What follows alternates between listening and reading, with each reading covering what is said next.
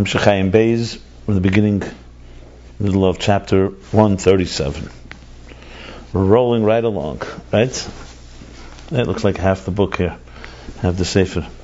So, middle of my, the beginning of Maimer 35, Discourse 35, Ba'aleischa, page 266 is where we reached, right?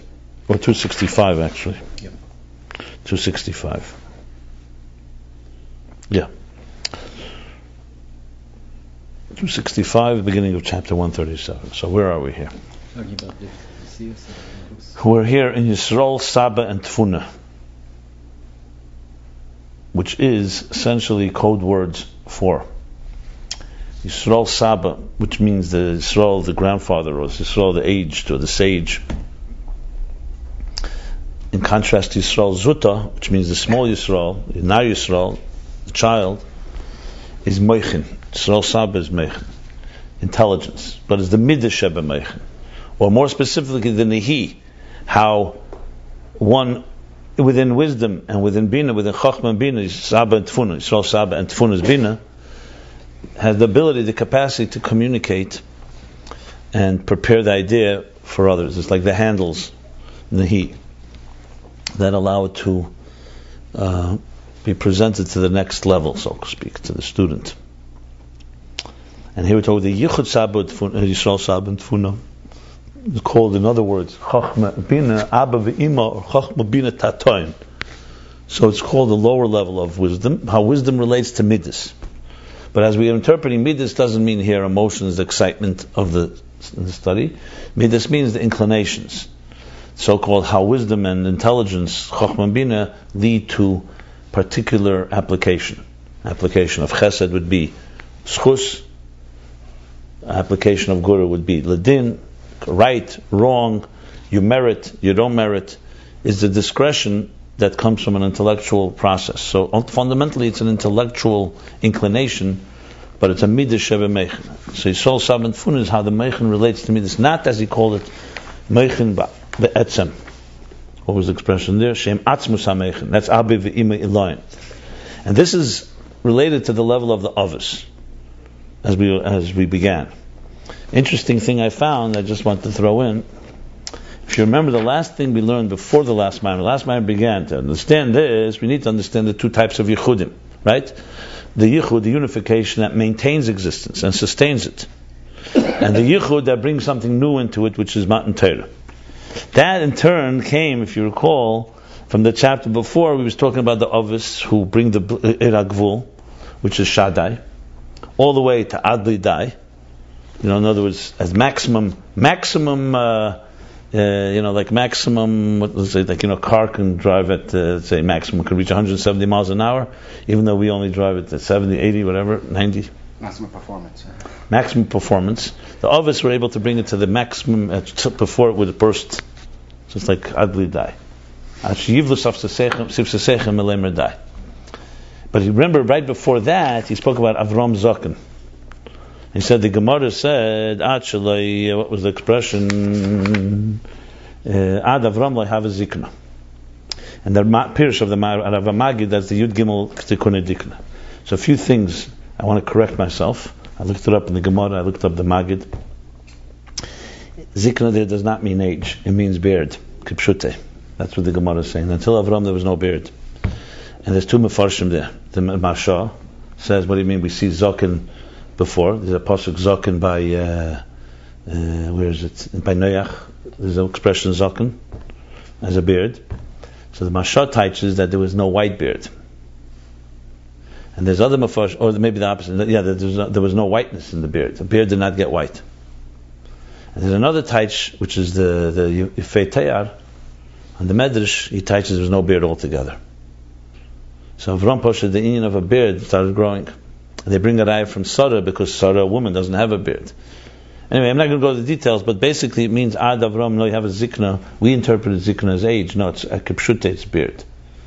Obviously, so the Magid teaches what means there was no beard. What, I mean, what's what's the meaning of that? Why why not? So he said because it was taken Takanoham Shacha from Yud Gimel Tikkun Dikna. There was no revelation. A beard reflects a higher revelation. So what I, I looked it up because I was looking it up in the Maimorim. It's primarily a Maimor from the from the Tzemach Tzedek on the pasuk of Avram Zokin, and the Reb Marash Tafresh Chav Zayin. And there, they actually, when they discuss Yud Gimel Gunadukna, the Cyrus, if you remember, it was about the side that the side is also a very Meishrei Meichin. It's a very narrow flow, a very diminished flow, but it's connected to a high source. Remember, that was the point. And uh, okay, yeah. So in the continuation of those Maimorim, what do they speak about next? About Yisrael Saba and Yisrael Zuta. Saba. Saba Zokin. The white beard. So even though he didn't say it specifically, but very clearly in those Maimorim, this discussion, Yisrael Saba, which as we said is the level of Avram, right? That's the level of the Yichud, that makes that, that that's within the worlds. That's Yud Gimel Tikkun Dikna, even though Gimel Tikkun Dikna is a higher Gili, but it's a Gili still within the structure of existence. So I just wanted to point out that this, well, I don't know if maybe the end here he's going to say it, but even if he doesn't, it's not just, uh, it is related to the, this idea. And when you learn it, you sense that the Rebbe Rashab read that because you could see how he says, to understand this, we have to go into the Sol Saba and Zutta so on. Okay, Sol Saba rather, and, uh, and uh, Tfuna. That was one thing I wanted to say. The second thing was, as I said yesterday, I'm just repeating again, so bottom line is everything we're learning here, how how um, um, the meichin, intelligence, affects life, which is the midas, and how each step is necessary. First you have chachma, then you have within that nihi, that's Yisrael Saba, then you have the um, uh, bina, and you have the nihi and bina, which is tfuna, and how that uh, in turn will give birth to midas, Yisrael Zuta as we said, informed by higher intelligence, until all the way to Yaakov, is really, Yaakov is of course the Avos too. Remember saw Yaakov is, is the Bechir Shabbat, so this is weiter levels that the Avos introduced. So all this is showing us the details of how the uh, Avos, the patriarchs, brought godliness into the world. Like a teacher that actually applies himself and brings it down to the level that the student can appreciate the higher intelligence. So now we began page chapter Kuf Lamed Zayin, another dimension in it. He speaks in Eitz Chaim, the Sol Sabbat Fun is the Hay of Shem Havaya, and and the Abba Imaylayan, which is always going to the highest level, which is the Yichud we're going to learn of Matan Torah, that's the Yud of Shem of Shem. And he explains that in Atzilus itself, we have everything has everything in it. So Atzilus has Atzilus Shabbat Atzilus. That's the Yud. It also includes the Bina, the Vav Dalet, and then you have the other way around, how the hay, which is Bria Shabbat Silas, includes, the hay includes also Yud. Because before writing a hay, you begin with a Yud. So bottom line is the question is what is the primary force, the dominant one, the dominant gene, so to speak. So we began learning the difference between now Atzilus Shabbat Silas, Bria Shabbat Silas. So what, what we began learning? We learned that Atzilus, the key difference between Atzilus and Bria is Mechusa Metzias. Gili Muhus, Gili Mitzias. As I explained, Muhus means where you relate directly, like Zeh. You can point to it, you can you experience it yourself. You experience the Muhus of something. Mitzias means you're told about it. You know of it.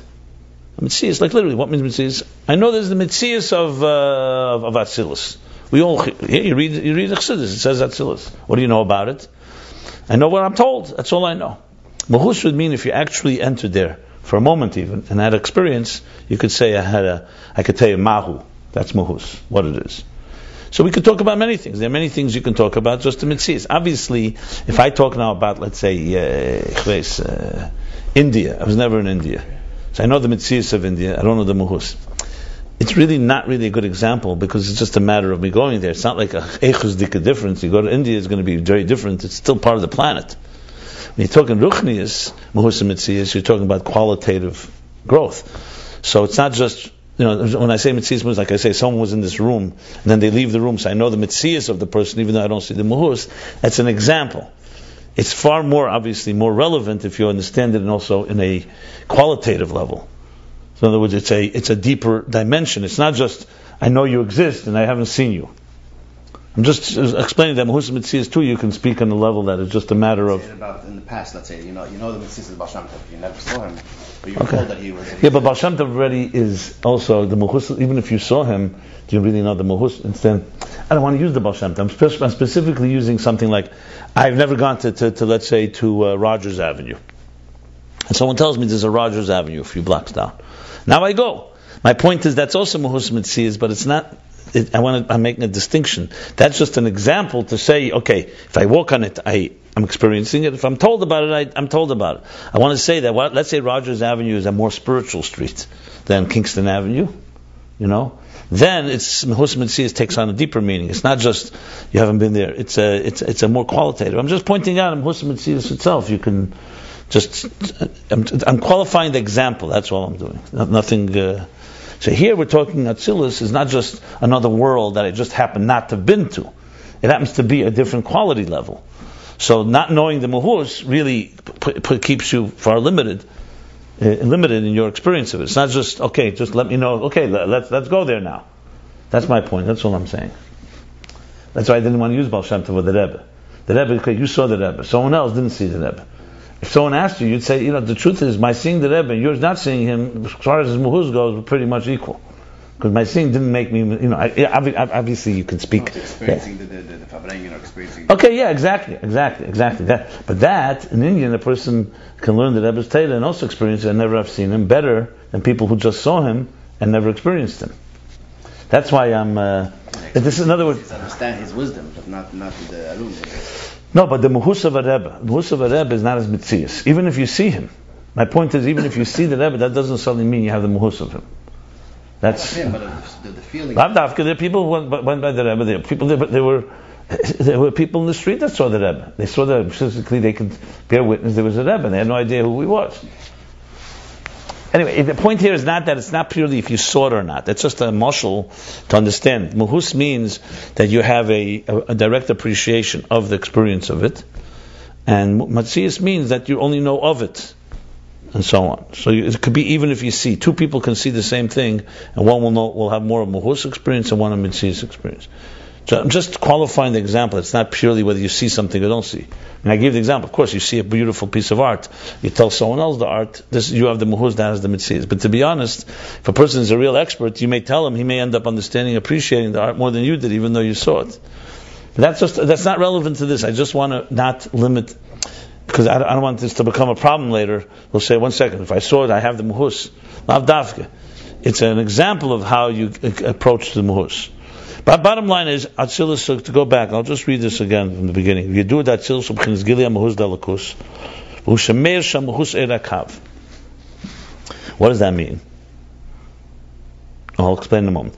So Meir Sham Mahuz Erakav, I explained that. Because the Kav, which is the divine energy, that essentially, let's put it this way, Atzilus relates to the flow of electricity that's entering into it. That's from the Kav. The Zohar Atzilus LeBiyah. That's the general difference between Atzilus and Biyah. The Be'el is Biyah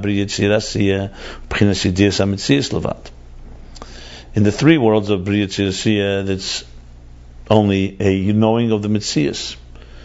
It's like us saying, I know that there's electricity running into this building because I see the lights are on. Someone said, tell me what electricity is like. I say, I have no clue.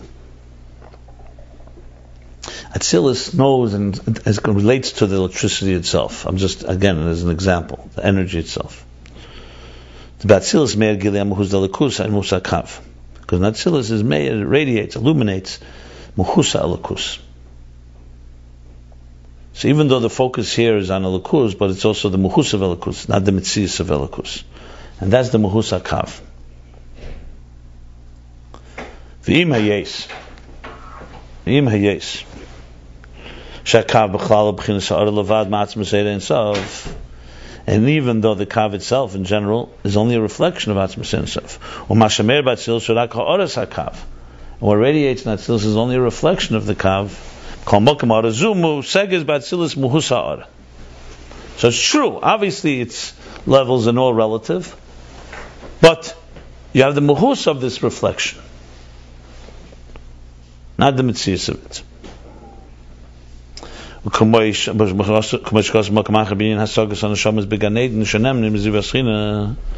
Like it says elsewhere about the comprehension of the souls in Gan Eden who benefit from the presence, from the reflection of the God, divine presence. That this is asaga, they actually comprehend the muhus, personality of godliness. Where did we learn before about Gan Eden, the Neshamas and Gan Eden? We learned it actually in a lower level. Remember just a few chapters ago. Nobody remembers? I don't. Just learned that the Bina of Atzilus, that uh, that the Neshamas are masik from. Uh, where they come from. Do you remember where it was?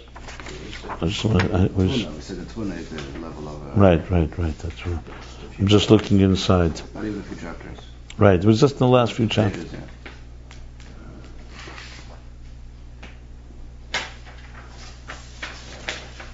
Yeah, the beginning by the Sharim, I think it was, right?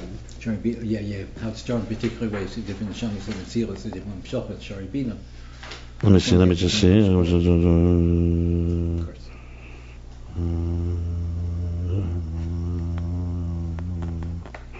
Yeah, right here. Beginning of chapter Kuf Lamed Vav. Kumay Asogas on the Sham B'Shem Gan Eden. You nin enemies of Ashkenaz. says.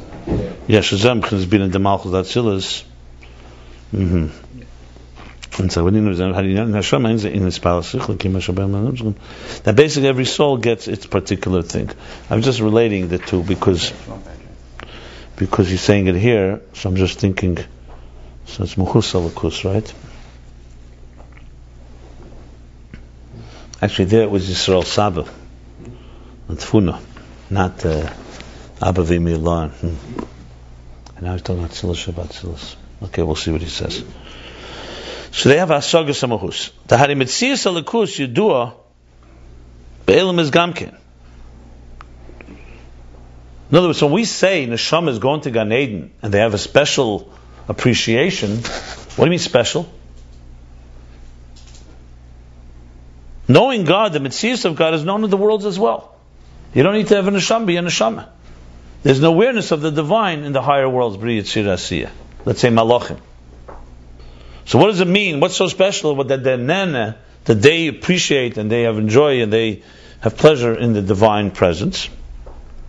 By Ischachas, the Gan Eden, the innovation, the, the contribution, or the, the what, what's accomplished in Gan Eden, Hushasham masigim anashamas muhus alakus. So it answers a fundamental question. You know, we say neshamas are sitting in Gan Eden and enjoying. What do they have more than other creatures of those worlds, so to speak? Malachim, or uh, or just the presence, the awareness that exists there. The answer is because they have muhus alakus, like it says elsewhere. But this is Neshamas and Gan Eden, which is, as we know, Gan Eden generally is Bria, Gan Eden Elyon, and Yitzir is Gan Eden Atachten.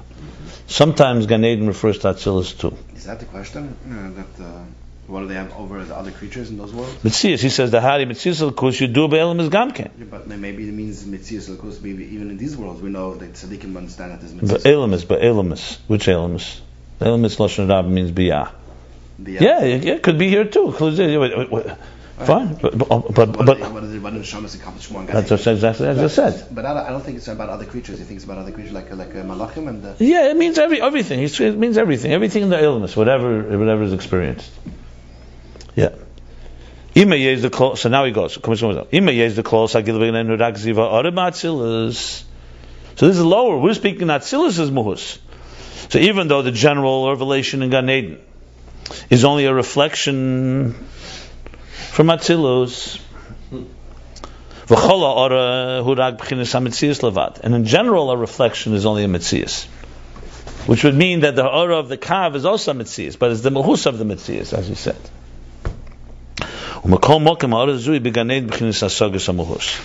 So even though, it's, yes, it's only a reflection, nevertheless, in Gan Eden, it's a comprehension of the thing itself.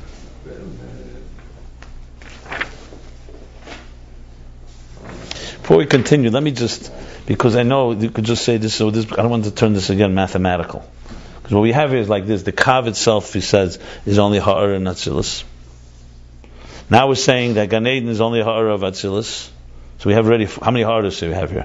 The Kav, Atzilus is a reflection, in Biyah, in Gan Eden is a reflection of that reflection, and it's all about Mohus.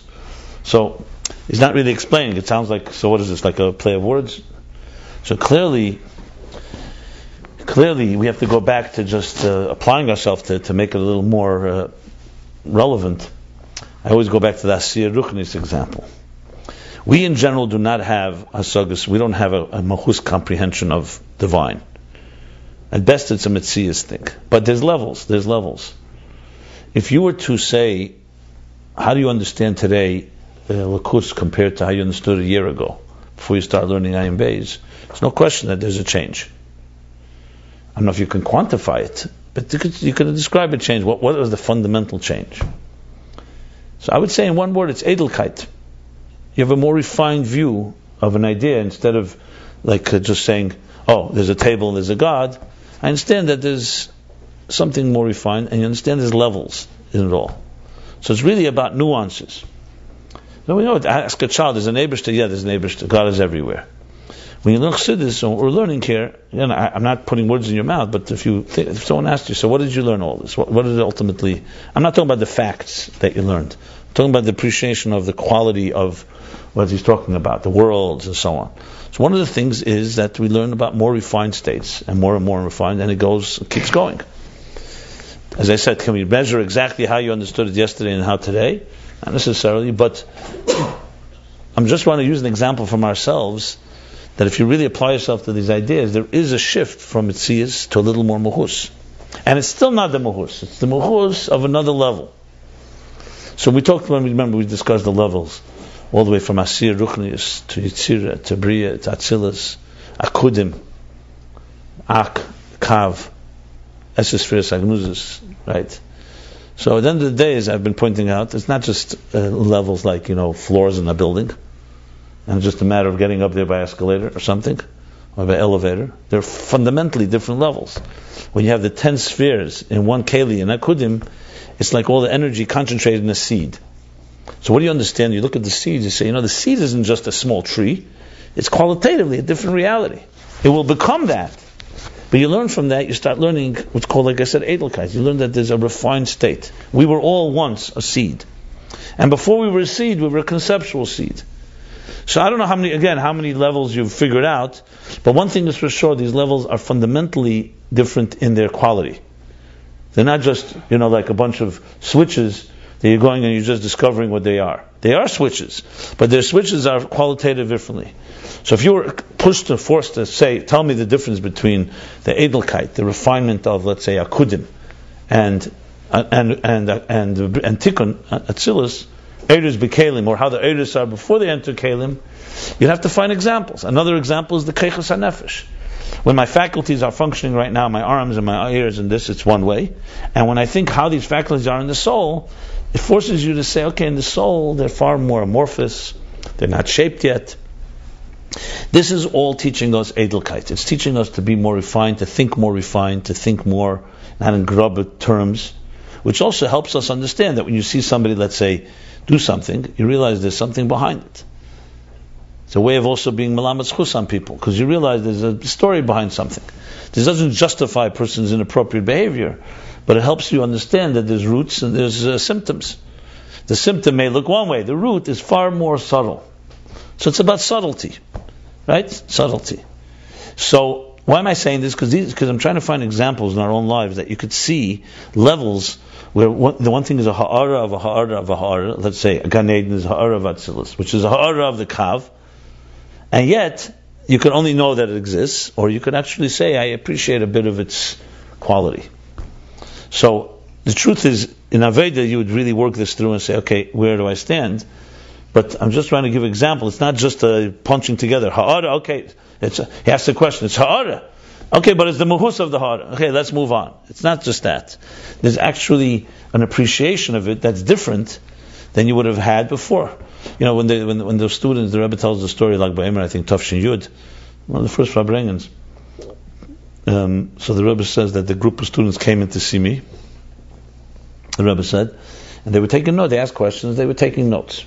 The last question was they asked me what a Rebbe is. So I described to them. And they were all jotting quickly notes, you know, they're writing it down. And as they walked out, the Rebbe said of my room, I realized now they have a papir in the Rebbe. They have a paper Rebbe. What's the point? Someone says to you, what's a Rebbe? So, you know, eh, eh, the, first instinct is you say, listen, if you don't know what it is, you don't know what it is. And you'll start explaining what's a Rebbe. Is a Rebbe is a blue-eyed, charismatic uh, guy? A Rebbe is a Ruchni is the command. You don't know what Ruchni is? Says, okay, let's talk about Ruchni. You know, I'm trying to say is two people can talk about the Rebbe in a very, one can speak about in a very relatively, you know, very human way. Another can speak and say, this is this Elikus. Someone say, what's Elikus? But when I say it, you all know what I mean. Because you already, in your way, have come to establish that it's not just another guy, you know, or another thing. So, but, and, and someone said, okay, did you come to the, you'll say, no, this is how I appreciate. Someone else will say, I can describe to you a Rebbe, uh, a Lakus, far deeper than that. And you yourself in your life will come to grow in appreciating what a Rebbe is. You know, I just heard a story that was just, I, I, I it was beautiful. I'll share it with you. I heard a Shabbos from uh, Zalman, Shlomo Zachi. Heard it from Binyamin Gorodetsky. It's very relevant because you know people talk about the Rebbe in, in ways that I, that repulse me, and it's just a, a good way. Um, so it's a gate to Chav Shvat. Yeah. So, unbelievable mice. We can bring about this story a long time. Yeah, uh, you heard that one? The chocolate, that's, yeah. 80 minutes, she said. 80 minutes. that I can relate to very much. Yeah. It's like, uh, yeah. So Reb Hillel Paritcher was a big, big chassid. He was a chassid. Now he was a chassid. They said he was like a half a rebbe. Himself wrote books. But by him, the passion was to come here. Rabbi from the Tzemach Tzedek was the biggest possible thing. It was more than your passion of learning Ayin Beis. Can you imagine? Huh? Yeah. No, maybe Dr. Lang is. Mine's in an aura. Right. After waiting a little while, you have to go out. Yeah. Huh? After waiting a little while, you have to go out. That my son. Yeah, yeah, yeah. Yeah, so that, but but it goes deeper than that. The Tzemach Tzedek, when the Rebbe Chaya Mushke, his Rebbe, it's very uncanny. It was mamish like the same story. So five years before the Tzemach Tzedek passed away, Tafresh Chavav, the Chaya Mushke, it was the only one, only the Rebbe and the and, Rebbe, and Tzemach Tzedek, same name. The Rebbitzins passed away first, and everyone else, the Rebbes went first, and the Rebbitzins went later. So, and also five years, you know. So. Um, so she passed away. When she passed away, it was very dark time, so to speak. That Tzemach Tzedek stopped saying Mamorim, basically stopped coming out. And they, you know, there's different stories. It said Melech ble Matronis. I think I told you the story, right? Yeah. Um, and uh, it took a while till Chassidim started telling that Tzemach Tzedek. There's a letter the Rebbe brings it. I'm like uh, that that that Torah could be console you, you know. Because Aisha was a was a partner. It was like a king and a queen. A king is not a que- king without a queen, basically. Ruchnis. But after a while, I don't know exactly. He didn't say that. Maybe a year. Tzemach Tzedek said he's going to say a mimer, which was like you know a big simcha, of course, a big thing. So everybody came. Rab Hillel was already older because he had passed away in Tafresh Chavdalit. So this must have been his last. And they all were waiting in Gan Eden Atachten. Tzemach Tzedek in his room. Nothing. An hour passes. Two hours pass. Hillel was not well as well. He suffered from many things, so he had to go out. Couldn't stay any longer. As he was going out, he heard a few young light speaking in ways that disturbed him. They said, okay, that Tzemach Tzedek knew, you know, the passing of his wife affected him personally. So he went over to them and said the following words. He says, Shvenzelach, Shvenzelach, Shvenzelach. You know what that is? You know what a Shvanz is? So Shvenzelach is the, is the plural for Shvanz. Uh, when you say, you know, Shvenzelach, they said it three times. I will say it in Yiddish, then I'll translate. Was meant it? As er the Rebbe is eigen anoz mit amoil, er is elikus. Und b'shas se da helam af elikus, da helam af Rebbe. You got it? That was the story to me, that's how I realize what bothers me when people talk like that. Like, you know, the Rebbe, the Rebbe passed away, yeah, he went into this, this. He said that the Rebbe is Elikus. And when there's a Helam in Elikus, there's a Helam in the Rebbe. I mean, just the words just capture it in a very powerful way. I find it to be extremely. Um, he told me a few other stories, very good stories, excellent ones. This guy's got stories, unbelievable. You heard from Rab Shmuel, he's like a clam trap. Doesn't forget. Tell me, I'll tell you another one. He said that um, Rab Hillel also, when he would go to Yechidus, the Tzemach Tzedek, he would go last because he would spend more time there. So the so everyone went to Yechidus, he also went, and people would wait, you know, till the Rebbe finished Yechidus. No one would leave, even those that went would stay around. So Rabbi Hillel went last, and uh, and he finished Yechidus. He went outside, and uh, the Rebbe left, and Rabbi Hillel remained standing there. They asked him what's why he's standing. He says because he has one more question he wants to ask the Rebbe. He said, "What is it?" He wants to hear a mimer from the Rebbe.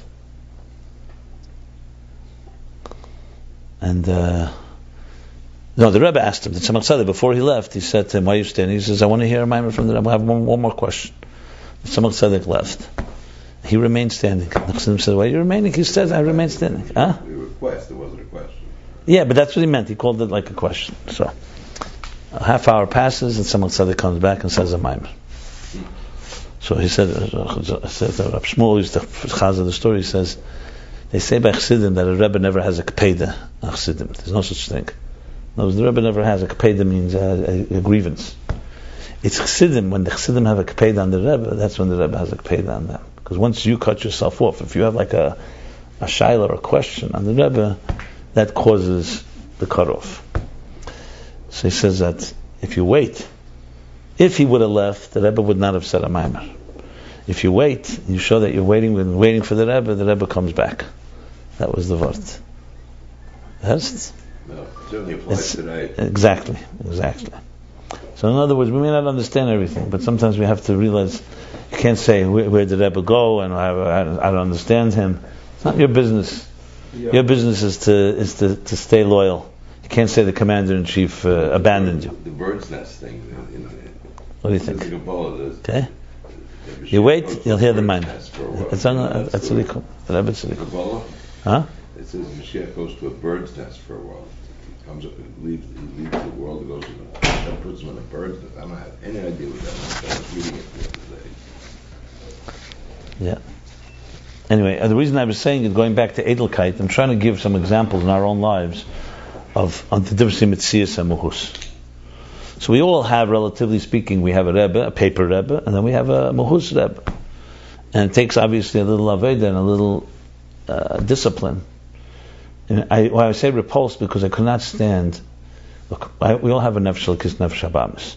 My nefesh habamis is very uh, well fed and uh, very active. Like rest assured. Okay, but I also have a nefesh lakis. So you talk about a rebbe with your nefesh habamis, and you try to, t- t- you know, what are you talking about? Your nefesh habamis doesn't understand a rebbe. If you're talking from your nefesh lakis, you know, there's certain things that the Re- rebbe is the real thing, and that's it. You know, small with small munkus. Either he's real, he's real, whether you understand it or not. I can't stand when people who can officially chassidim of the Rebbe, and they talk about the Rebbe like like uh, like he's uh, one of their uh, friends, like you know trying to analyze him. Like even the question people ask, why do you go to Freud? First of all, it makes no difference. What's the difference? So you understand everything. You know, just the, the mere thing, and suddenly because you have a question, what it changes the Rebbe because of you. And, and, and so I remember those years when the Rebbe had the stroke, and people were sich. Why is the halacha? Why is there a halacha? That's why it bothers me. Why is there halacha? You're not not to see a king take a haircut. Everyone knows he's taking a haircut. We knew when the Rebbe had a haircut. The, the, the barber would come, he'd go in the Rebbe's room and give him a haircut. Why is us? You're not allowed to see a Rebbe, uh, a melech, take a haircut. It's a din. You're not allowed to see him in a mikveh. Why? You know that he's doing it. You know that he's a human being. Because there's something that affects us. Melech b'yofet. A Rebbe is, a, is the, the, the beauty of a Rebbe, and it affects a human being to lose a sense of uh, certain respect. You know, you make him humanize him. I'm not trying to dehumanize the Rebbe. The Rebbe is of nefesh and neshama beguf. But you have to understand, according to Chassidus, alakus is alakus. You know, Reb Hillel's words, you know, given. The Rebbe is alakus. There's a helam on him. If you see that the Rebbe is like so-called withdrawn, it's not because he's depressed because he lost his wife. It's because losing his wife is a helam on alakus, and therefore there's a helam on him. If you don't believe that, then what's the Rebbe for you? What do you mean? He's just a, a nice, smart man that you go for advice? This is how Chabad sees what a Rebbe is. So there's a, there's a involved here. And Moshe was this way and so on. I'm trying to say is that there's a muchus of a Rebbe It's a mitzias of a Rebbe. Moshe was that way with Zipporah. Hmm? Moshe was that way with Zipporah the same way. That's one of the reasons he separated because he was he went to a level where it was not possible to really maintain both Ah, things. he went even higher.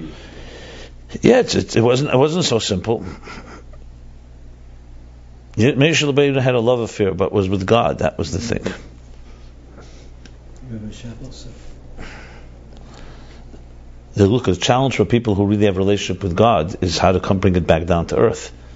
They'd have to, and they do. But the, for them, it's not easy. You know, it's not easy at all because you're in a very divine spiritual place. Like the Rashbi. Yeah. You know, for us, it's not so complicated. because, uh, well, anyway, my point, I just wanted to give some taste of little muhus. Um, I don't know, you know, I don't know if, how, how much you're into music and song, but there's an expression that a person that has a chush chassidus has a chush negina, the song. The word chush, not kishin. There are people, for example, who they sense a song even though they physically don't have the tool to sing well. They were they couldn't sing, but they had a chush. Yeah. Why, why is that? Because you can have the same song sung by two people, and when you feel they get it, you feel a depth to it, a personal depth. Another other person may sing it technically right, even better than the first, but there's something that's missing, something muhus missing. Again, I'm just giving examples. I want to just give examples how muhus mitzias can be understood on many different levels. So the key is to find a, a so-called a, a a commonality, something that we relate to. Okay? Can you find an example? Let, us take ice cream, okay? Some people eat ice cream, they know the mitzias, but they don't have the muhus. Others get an ice cream, they really appreciate the muhus. This is like in the category of the example for shefa from ketchup. So I'm actually saying it in a humorous way. I don't, for the record, anyone watching this was just a light moment. Don't get me wrong, but there is that type of thing. You could have in Taivas also. You know, there's some people they know how to like eat the hot and cold of ice cream properly, and they appreciate uh, on, the, on the palate the different sensations that tantalize their uh, taste buds.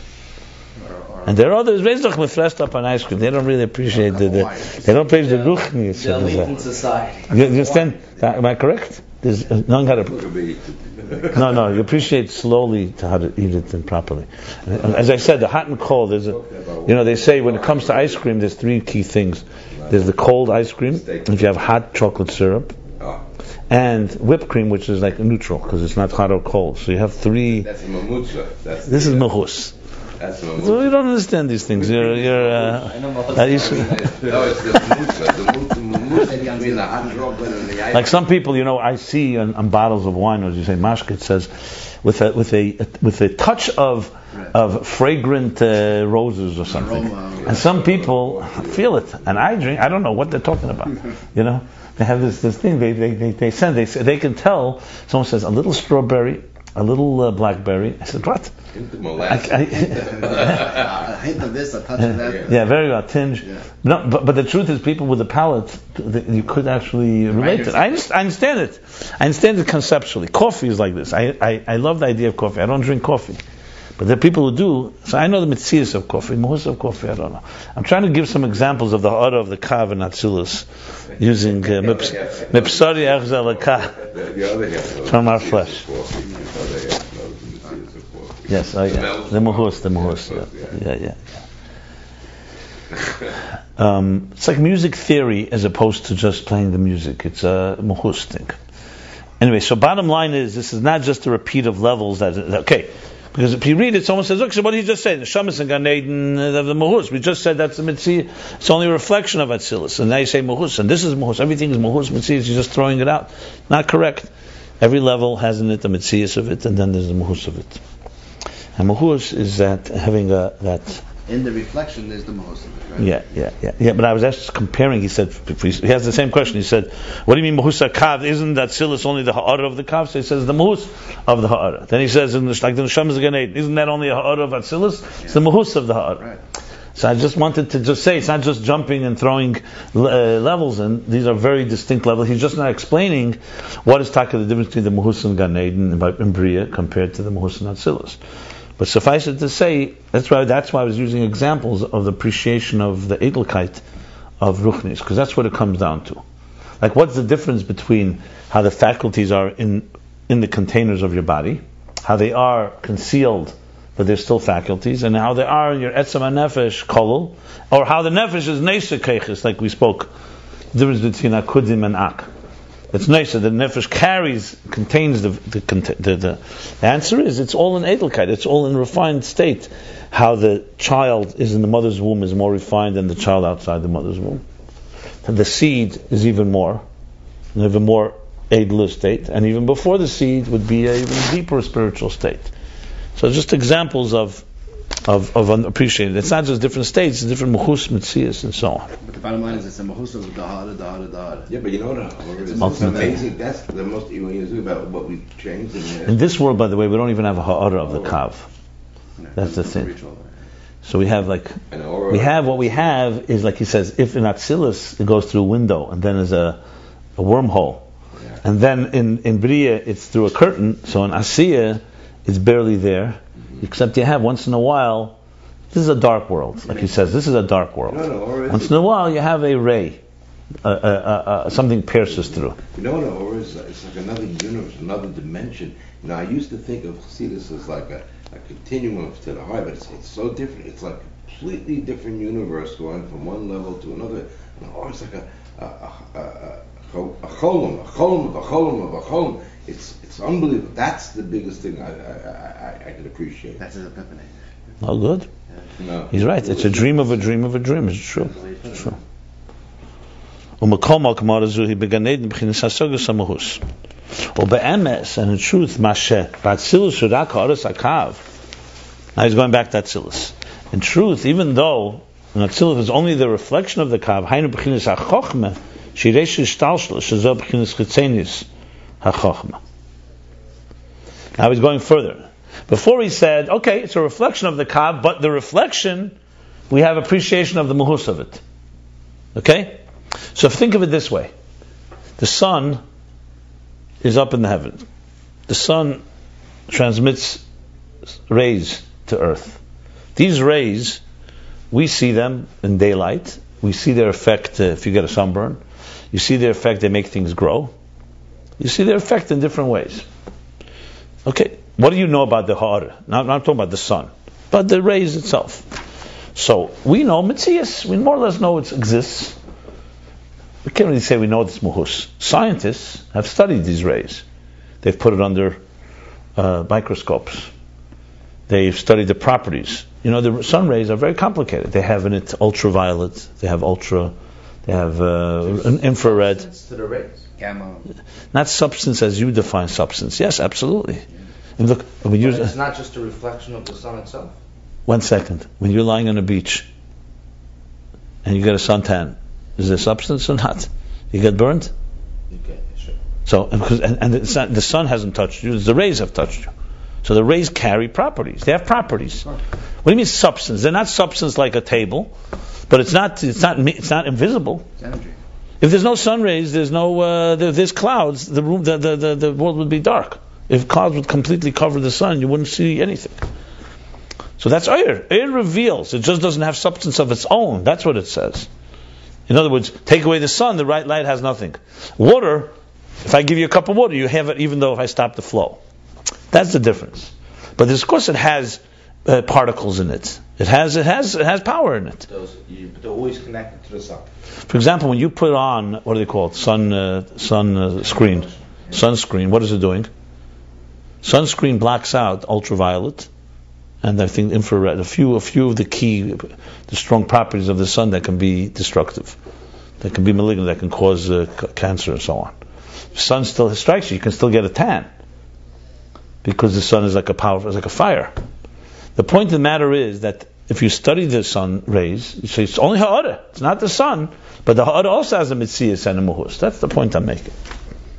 So now he's going that. That's one thing. But now he's saying, in truth, that what we say, the reflection of the kav is only. uh, We say the other kav is in chachma. Remember, chachma is Yisrael Saba. Midas of chachma. It's only chitzenius of chachma.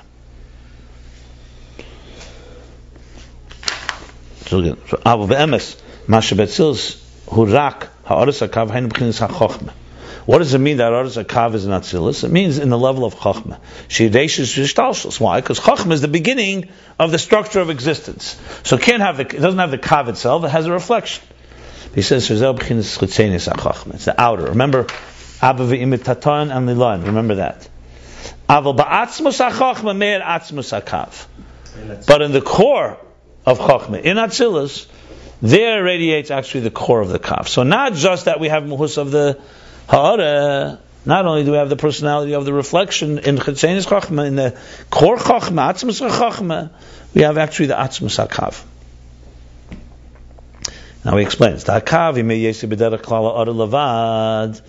Now again, so before we were talking about the Kav, a reflection of the kav. But the kav itself, even though the kav itself is also uh,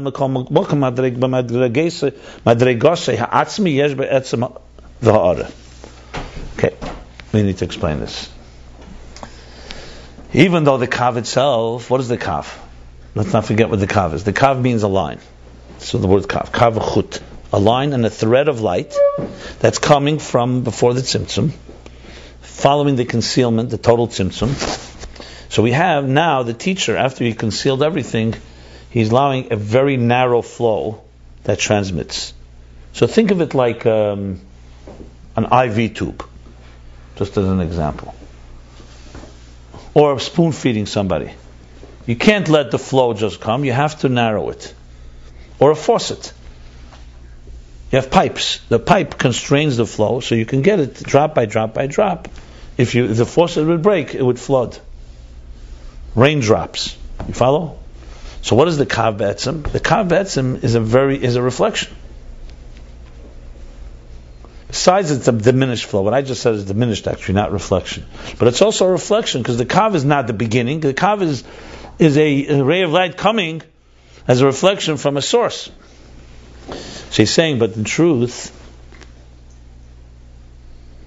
in general, the kav is ha'ara. But madragose ha'atzmi, in its core level, if you really dissect the kav in its real personality, it also has a etzem v'ha'ara. So the kav also has etzem ha'ara. So we have here many, many things now we've learned. There's an etzem and there's a ha'ara. In truth, everything in existence has both a, a core and a reflection. Someone will say, who's you? Who are you? Who's the core you? And who, what, what does your reflection look like? How do you figure that out? Exactly. So you could say the core you is what you carry in your thoughts. Things you don't tell anybody. And what's reflection? What you share with others. The core you is what you feel inside. The ha'ara of you is the face you project, the masks you wear. You know, every one of us has masks, and almost automatic. Think about it. You meet somebody who you know, and right away you put on the right mask that fits that person. You meet someone else, you have a different mask. I don't mean necessarily mask that's lying or, cons- but it's a mask. It means it's adjusting. You're adjusting to the different people in your life, right? It's a normal thing to do. You know, some people say that each of us has like a jar right in front of our door of our house with a bunch of masks, and then when you go out, you just take different masks and you put them on. We do this automatically almost. Depends where you're going. Huh? Depends where you're going. Yeah. So you could say, what's the core of you? What you are like without the mask. What do you like in your inner thoughts, your inner feelings? You learn a little chassidus, or even not. You think about yourself. You say, is that really the core me? My thoughts? My thoughts are also not the core me. That's also, it's just not revealed to others. But compared to the real me that I'm not even aware of, even my inner machshava, my feelings, even my inner thoughts and feelings are also somewhat of a reflection. I'm again trying to give examples. It's very important because I don't want this to become mathematical. Just level, level, level, and we memorize ha'ara, etzem, etzem, ha'ara, this is ha'ara. In reality, in life, this is a constant journey. What today can appear core and something else reflection, tomorrow the core can it becomes a reflection compared to a deeper appreciation. And you could see this. You could see this when you're, let's say, with a master teacher or you're someone who really understands, an expert on something, and you've already think you mastered it to some extent. You speak then to the real master, and you realize, compared to others, they think I'm the, the mumch, you know, I'm, I'm a core. Compared to this person, I barely know the surface. It's a common experience. And nothing wrong. It's, a, it's true. Why? It's not because you don't know, because it's all relative. It depends where you are. So if you're climbing a mountain. So the people on the ground say, what do you see? I say, what I see, I see, uh, uh, I see a horizon. Someone says, that, wow, that's a. I, I, I, will I get there? Yeah, climb up, you'll see it also. Then someone's a little higher up, and you ask the guy in the middle, says, what do you see? He says, I see, I see a thousand miles. I see the ocean. Wow. What, it's all relative. Each one is seeing a, a bigger reality, and they're all true. It depends where you're standing. So, so, there's, so it's just it's important to know, therefore, that you could talk about things that are reflection for one person is something core for another, and for a higher person, that core is only a reflection. Follow? The beauty, th- the, the interesting thing is, especially psychologically, when you're talking to people, and I've seen this many times, you know, there's a symptom. Like, you know, let's say you have a, a pain in your finger, or something's not working in your, your life. That's a symptom that you can identify. Everybody can see it. Or you see it at least. You describe it to someone who is a little more experienced and says, maybe uh, the cause is this. Try something. And let's say you discover that it's true that's the cause. You think you've solved it, lavdafka, because you go to someone who's even better expert, they'll say maybe there's a cause to the cause. So you found the first level, that is so-called core issue, so it's better than just the external symptom. But then there's a core issue, and then you can go back all the way, who knows how many levels. The point is, in other words, so although the kav is generally ha'ara, in its level itself there's a etzim in it, and there's a ha'ara. And not be concerned when we say, depends where we're talking, or it's relative. Relative is not just a cute answer that everything is relative. It's not true. Because there are levels that you could quantify and say, this is the level. Does it mean that you reach the, de- the depth of it and there isn't more to go? Obviously, you can go deeper. You know, I'm always fascinated by the studies of nature where they dig under the earth. You know, that they say the center of the earth is molten rock, is unbelievable heat of, of thousands of degrees of, of temperature. Like this, like a sun. That's a core. now, and you wonder how such heat under our feet, deep down, and then there's all the layers of rock, etc., etc., etc., and then you see a volcano, or you see an er, earthquake, and suddenly, you know, a little exposure of what's going on. Where's all that heat coming? You know what a volcano kind of heat it, it spews? It's unbelievable. The heat, and it's all inside there, and you start realizing the earth that we walk on, how many layers does it have? I mean, it's, it's, it's, always an insight. It's tremendous to see. And even that, nobody, nobody's gone there. Nobody knows exactly what's going on in the center of our own earth all our experience because nobody's traveled there. You can't even travel there. Sometimes you see these fascinations of the, the pictures they take of the seabed. You know, the seabed has not yet been mapped out completely. There are places in the sea that nobody's ever seen or gone to. That are the sea is, is far more complicated than Earth. There are places that are just so deep. Three times as much. Yeah, right. So deep and so on. What it teaches you is like the awesomeness, even of something that's so close to us. We're not talking about billions of miles away. We're talking about right here, the same earth. And then take the human psyche. Here's a human being, five, six feet tall, weighs 100 pounds, 200 pounds. We won't go higher than that. You know, even though I do have a theory, I don't know if you know this theory I have that God, when, the, when a couple get married, He gives them 300 pounds and says, split it as you see fit. And then after 20 years of marriage, He gives them another 100 pounds. More or less works out. Try it out. It's nothing to do with Ayin Beis. It's my own little observation. so halt this? Not weniger. So 300 pounds, if it's 150, 150 is nicht very good. 200, 100, or 180, 120, nishlach, right?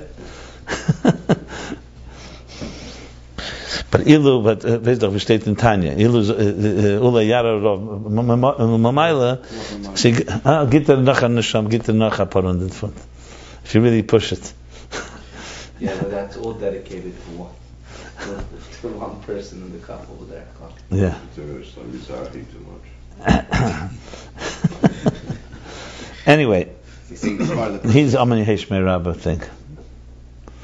I mean, you know the Nachum Chernobyl, Oh, yeah. that fat from Amani Heshmei Rabba. The guy says, listen, says, I, I mean, how much Amani Heshmei Rabba? He says, I've been cutting down and it's not helping. I met a I cut it out completely. It's still not helping. I said, because yeah, that's not, maybe that's not the reason. Guess I'm not going to shul for a while. Anyway, anyway, so so so Part of the person is the same thing like so so this five foot, six foot frame of a human being. Tell me how complex it is. It's a human being, literally. I mean, how how deep do we? We're not talking about millions of miles. But this little person inside this head. Look at the the trillions of dollars people spend on therapy, on healing, and trying to figure out what's going on inside this little body. I find that unbelievable to me. With all our exploration of outer space and water and everywhere, we know a lot. This little human being we still haven't figured out. We can't even figure out the brain. Size, how big is the brain? Size of a little more than a palm. The brain. Interesting, huh? Complicated dimension. Compli- complicated human beings. Yeah. So if anybody tells you they know the muhus, what do we know about the brain? We know the mitzias of a brain, and we know a little, uh, even the biggest uh, researchers will tell you, we know 5%, not even. Who knows what's going on in this brain? What do you think? You got the brain Can figured you out? figure out little kids, like you said? It's Yeah. out? You know what, uh, what, what, like um, Reuven Dunin said to the guy they was farbringing in, in Israel. So the guy said, uh, "You guys with your God, what, what's God? How do you know? It's, it's, no God." Yeah, yeah, right, exactly. So Reuven was a real farmer. So he said, "You work in a farm in Hebrew." He said, "Yeah, yeah, you work in a farm." You know, tell me why by goats, certain goats, when they uh, the waist looks like this, looks like long this. Other people it's like circles, and another's waist is this. So the guy said, "I don't know." He says, "Bechara." You don't understand. Bechara tal mevin atam medaber al elikim. You don't even know the core muhus of, Chara. Forget about. Uh, anyway, right? So really, you wouldn't actually know the who's of anything? Really? There's no such thing as totally knowing the muhus, but there's definitely. Let's put it this way: I know people who only know the mitzvahs, and some people know a little more. I don't think it's about measuring. It's a. me- It's, it's really like we spoke about. It's not about um, getting an award of how much muhus you know. It's about an aveda of recognizing how little you know, which opens you up to really know more. That's what it comes down to. Yeah. a nigga, they always say you can know the who's but the who's. Yeah, okay. But point is that the the the kav is ha'ara and yesh be'etzem v'ara. Uba'atzmus ha'chochma meir etzem ha'kav. And the core of chochma radiates the core of the kav. So the va'oidzes. So now we've established the second thing. So the two things so far.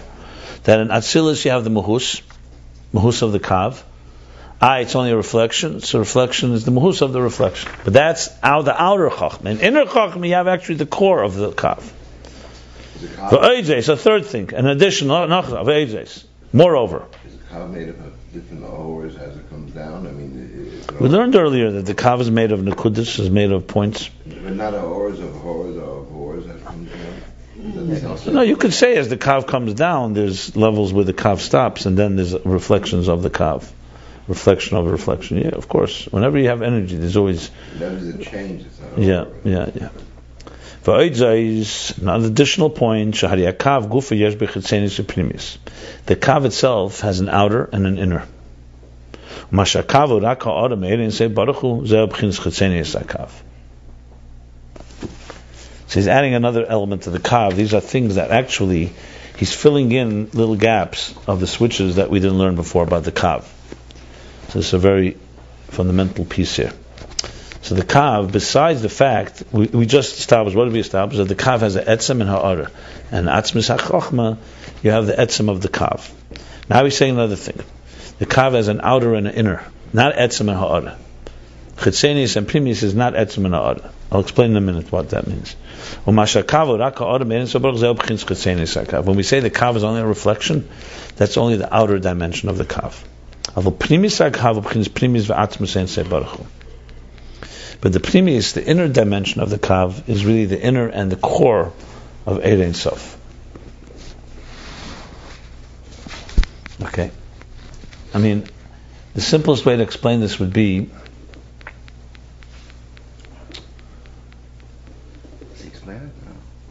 He may, but let me let me say a few words about this. And uh, remember, the kav is rooted. Not it's not, it's not it's not a creation of its own. Came from somewhere. It came from the Sof Lifnei Tzimtzum. It's air. Except, it's if, like he asked before from Eitz Chaim, why did God, if it's an air that comes from Ein Sof before the Tzimtzum, why didn't God just leave a Kav? Make a, a Tzimtzum, and instead of complete black hole, just leave enough of a Kav to flow through.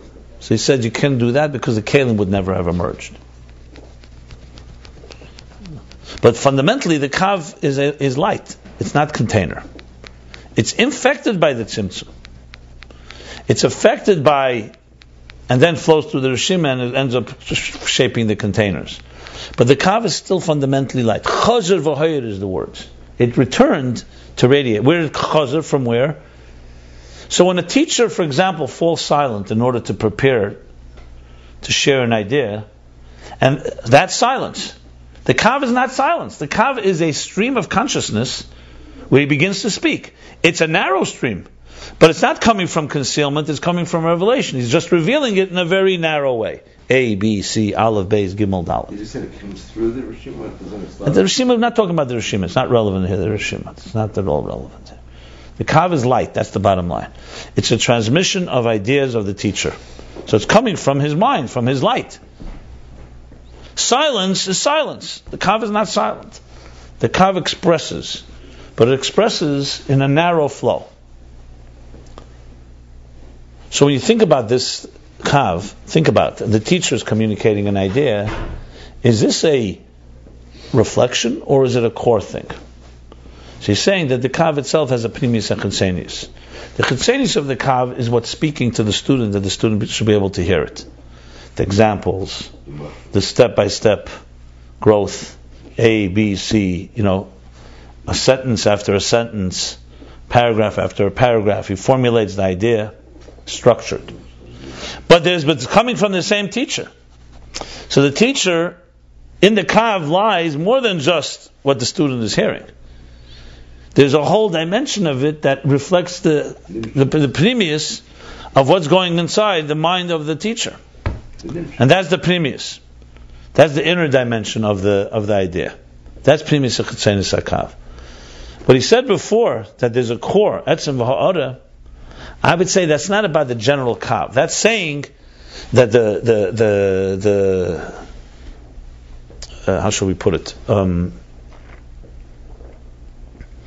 that the kav in general is a reflection of an idea, but it also has in it a core element. He's not talking about the whole entire kav that has a primus of consenius. Or you could say actually that it is similar to etzem and ara. It seems to me it's a little different, but definitely primus and consenius is talking about the whole kav having two dimensions to it. The more I think about it, maybe it is the same thing as Madrigos asked me about etzem v'ha'ara. Etzem a kav and ara of the kav.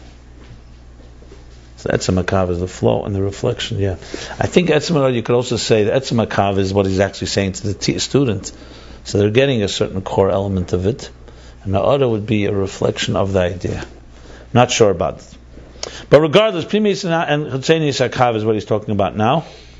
And the Primis, Primis Atzmis. Now he's going to say, Dehine b'mokamachar mavur because now elsewhere it explains Dam Shachas Akav al derech le'elim yishna yishana adam l'talmide b'derech tzara that the transmission of the kav, of the line of light, is an example that the, always a, a, person should teach his student briefly, in in in short, short expression, b'derech in a summarized form. In other words, not elaborate that overwhelms the student. B'derech That's what the kav is about. The hashpa b'derech tzara ain't a kavana shemayel mimenu haskola. Hashpa, a transmission of ideas that comes b'derech tzara summarized, does not mean in a kavanah. This is not the intention shamayli mimenu haskol that he's hiding, concealing the idea, the concept from the student. And he only reveals to him only a drop. That's not what it means. No, derech tzara is not quantity; it's quality. It's not that, you know, Derek Tzara means, you know what, I'm only going to tell you 1% of the idea. He's going to say Derek Tzara means he takes the whole idea in a summarized form. It's a big difference. It's like if I would say to you right now, you know what, let's have a class and we'll learn now for an hour. And that's the beginning. But then tomorrow we'll learn another hour, another hour. So the hour is a Derech Tzara, no. Derech Tzara means that the whole thing is there concentrated. That's what he's going to say. Rather, hakavanu shemashpile. He transmits to him the entire concept. Also the depth and the, in, in, and the inner dimension of the intelligence. Eh, but the only thing is, he transmits it to him in a summarized way instead of elaborating for hours about it. He knows how to sum it up in a way that he can receive it. And in within it, concealed, has all the depth and the inner elements of this intelligence. So Derek Tzara doesn't mean just speak five minutes and not the whole story. Say no. Whole, it says tell the whole story in five minutes. It's a big difference. So this is not about quantity, just limiting the amount of time or limiting what you're going to say. It's a, it's it's far actually far harder. As Churchill once wrote somebody a long letter to his friend, and at the end he says, "I apologize. I didn't have time to write a shorter letter." To write short, short as long as they say, is far harder than to write long because it means that you understand it so well you can sum it up. I remember um, 15 years ago, I showed somebody some plans for the Meaningful Life Center, organization I run, and it was like you know 40 pages as a why not short, long, shorter than Hanacha. So 40 pages. So the guy says to me, uh, until you don't get it to one page, not that I'm lazy to read it, but it means that you don't really have it.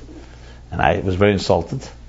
And I said to him, uh, well, maybe, you know, because there's so many details and blah, blah, blah. But he was right, 100%. I even knew it then, but I didn't know the Mahus. I know the Mitzias. So I said, so how long do you think it'll take me? He says around 10 years to get it from 40 pages to one page. And, and I said, 10 years is a lifetime. I have no time for 10 years. You're crazy. I thought you were going to say a few months, a few weeks. It's 10 years. Well, it took around 12 years. That someone was the money guy? A, a, guy before I got to the money guy, you know, like, yeah. A money guy for sure wouldn't even even tell me this. Uh, he would say, goodbye. You know, I have no time for 40 pages. And I realized it's absolutely true. As a writer, I could tell you absolutely. If you can't write it in one sentence, not that a sentence is enough for an essay, so what do you have to write more? Like I said, it's called derech tzara, but it takes a lot of wisdom to get it derech tzara. Then Obviously, there's room for elaboration, etc., etc. But if you don't really get it, you can't sum it up in very short ways. The hardest thing is to write a title, a title of something. You know, give me this. You know, what is the name of it? Give me a description. That you know, people's companies pay billion, millions and billions of dollars to be able to get a, lo- a logo, a tagline. You know, that to capture. The, in short, you know, mission statements. Google's mission statements. Look how simple it is. But everything they do is under this mission to organize all the information of the world and make it accessible, universally accessible. Simple mission. It's unique. No one else does it, and it's their mission. You know, I studied mission statements because I saw mission statements do this. They they capture in one line the mission of an of a whole entity. It's it's pretty fascinating. It's you really need to very zoom in, like Havdil the biggest, the, the, the, shortest mission statement in existence is from the Torah. Two words. No one has a shorter mission statement. V'shachanti b'seicham captures the whole purpose of existence. V'asu the migdash v'shachanti b'seicham. Can you imagine? Two words. Now, of course, someone will say, "Oh, so all I need to know is those two words, then you know the whole Torah." Well, it's like Mada Olach Sani is the whole Torah. Now go. Obviously, it's a summary. But Shchanti B'Sem, God wants to rest among us. It includes Dira B'Tachtenim, includes everything. Or look at the mission of Chassidus. Yafutsu, Meinesecha Chutza. Three words.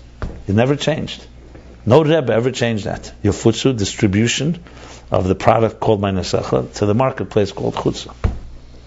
I mean, this, what I'm saying now, took the 12 years to figure out how to say it in three words. Now I appreciate, you appreciate these things. Because you know, I know it sounds simple. Mashiach said to the Baal Shem chutza, but think about it. If you didn't know that, how would you say it? And you start thinking, should I say this way, that way? Three words. It captures everything. Two words. It's unbelievable. Like Yisro, Yisro So that so so Shchandi B'Seichem is not I'm giving you a little taste of something and then there's a lot more. No, that's the whole thing in two words. Now we want to talk about it. Obviously, how do you how do you make Shchandi B'Seichem? How do you do it? Like the Tanya, one pasuk. Karu elach hadavar meid chalasese. But eich, that you need a whole Tanya. But the pasuk is one to make it relevant. That's not recheka mever leyam shamayim. So how many pages you got to? I got it on one page. I could do it now in a paragraph. Yeah. Yeah. I didn't work, you can't make that your goal. It becomes, it's so, after you work it out so many times, you start seeing that you get the gist of it. And you can put it what they call an executive summary or a mission statement. And trust me, it was murder. Murder. And probably if I started an expert, it's still not, uh. Like Abba to Tefillin, like to like we were learning it. Yeah, yeah, yeah. Chachma. We see Chachma. We learned about. We learned this earlier. Chachma is the nekuda before you develop it, but then there comes the nekudas hatamsis. Remember, we learned at the end of bina, you summarize it. What we're talking here is the nekudas hatamsis. Chachma is not the thing. Chachma is a spark of idea. I want to change the world. I have an idea. You know, this is the time. This is like the nekuda that comes after you know the whole thing. You're able to summarize in a in a sentence, in a line. Like for me, Ayin Beis is clear. Every time I learn more and more, it's clear. It's a book of interfaces. It's as simple as that. But interface is a complicated word. It, it switches. This is clear. Ayin Beis is interface. Mamutza everywhere you turn. Every line I see it. I mean, not mamish every line you see, but you could see it's all about mamutza. He keeps going back to it. The mamutza, the mamutza, the interface, chokhmah, bina, kesser, this, atzilus. How you connect. But to summarize that, you know, to say the whole Kabbalah and Chassidus comes to teach us Achdus. How do you connect separate things? You need to know a lot of Chassidus to say that. You can't just make a statement like that. Hmm. But since it's all orders, the door from one universe to another universe, one dimension to another dimension. Wow. So let's go in. So Batal V'Tarek Ksara. So Ksara doesn't mean short and then not long. Ksara means as concentrated. The whole thing is there. Ubehelim yesh b'zeh kol emek b'pnimis. Ulechein la'achar aboyim shnin. And that's why after 40 years, kayimin kayin shadaita derab. It's a great raya. It's a proof. He comes and understands, appreciates kayinish. A person rises and comes to, or arrives to the true das, the true meaning, like Rashi says in Parshas Ki Savo, the emek pnimis hakavana or musig of what the teacher taught. What's the raya? Who said? The teacher maybe didn't teach you everything. Who says after 40 years you're going to come to his depth? Maybe he gave you only uh, a certain amount of information. No, because he ha- gave he gave you everything. It's all there. You don't need to return to him because it's planted in what you you learned. But 40 years. This is the depth and the primis, the inner meaning of the kavana k'mashakos makamacher. So good teacher, it's implanted in there, all the stuff, it's just in a, in a presented in a ksara. This is what's explained what the kav is like. It's a beautiful way of understanding the kav. That's what the kav is doing as it transmits. It has the whole story. Remember we talked about misper, Sipur, Sapir? So it has the whole story, but it's in short, it's in a kav, it's in a narrow kav. And right now you're only receiving what you receive. This is explaining the previous and chitzenius of the kav. Why is this? Because in the transmission that he transmitted, it has in it concealed everything, the whole inner core ideas. This is all an example. What's an example for? Vadugma mizeh. The example for this is Yuvan. And Vadugma mizeh. An example from this, Yuvan, you'll un- will understand. Bamshakas hakav in the transmission of the narrow flow of, of, air, of, of energy called the yusa yesh uh, that in its inner dimension it has within it the inner and the core of Ein Sof baruch. The kashem shenikudas harishimu haralevad. Now it goes like this. Now, we know there's also a rishimu now. What's a rishimu? Rishimu is the impression of the letters, which is more the structure of existence. So it's an impression, a dark impression that remains after the tzimtzum. So you're going to say now like this. Going to compare the two. The kashem shenikudas harishimu, just like we speak about the point of the rishimu, that impression. Haralevad mashenu kelelas kol ha'er. Besides that, it encompasses all the Eir Sheyinimshel B'Kol Seishtalshlish. It encompasses all the revelation and that will transmit in the general cosmic order. Hayesh bo behelim kol atzmus ha'er It has within it concealed all the core energy that's not even commensurate to the to the to, ishtalshlis, to the cosmic order. Similarly, the kav that in its inner dimension, yesh bebchinas atzmus the ensof. It has in it the atzmus, the core of ensof.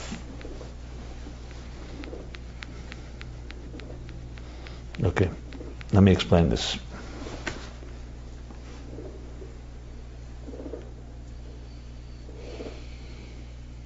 Uh, one more line, then I'll explain.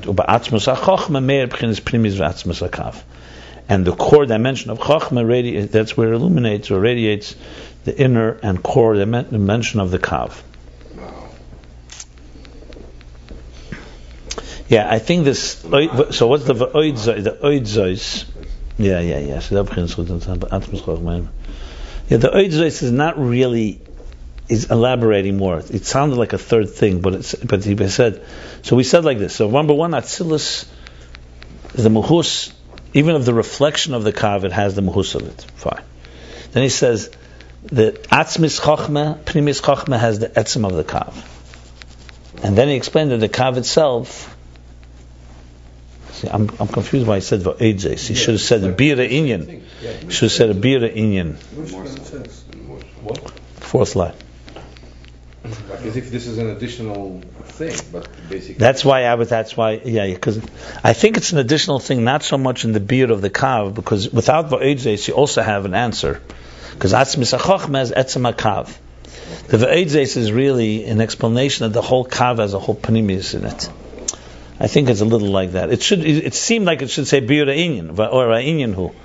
But I think because he's the Edes is more like that because in other words, one point is that the etzem because look, you could have primis a kav, and and and and where does it reflect in, in Atzilus? You could just say the kav has the primis.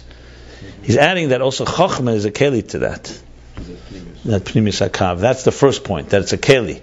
Then he goes into the primis and of the kav. Let me just add now what he said about the rishima, which I think is an extremely critical point in the interface structure. This may answer some questions, and I know you have some confusion around this, right? Yeah. Okay. Remember, we talk about two parallel tracks. Generally, two parallel tracks is that there's the Eira Ein Sof Habligvul, an expression of the divine. Obviously, Atzmus is higher than all revelation, but if he expresses himself, it's an Abligvul, Eir Habligvul, which is really a reflection of everything God wants to express. Period. Like Ratzon doesn't have shape and form. We're not talking about the living room, the dining room, Chachma Bina. We're talking expressing God's desire, expressing godliness. Then there's another kav that Chassidus talks about, which is the kav that creates structure. Generally speaking, not in Hemshech Ayin Beis. You could say these two parallel tracks is the, the root of the eris and the root of the containers.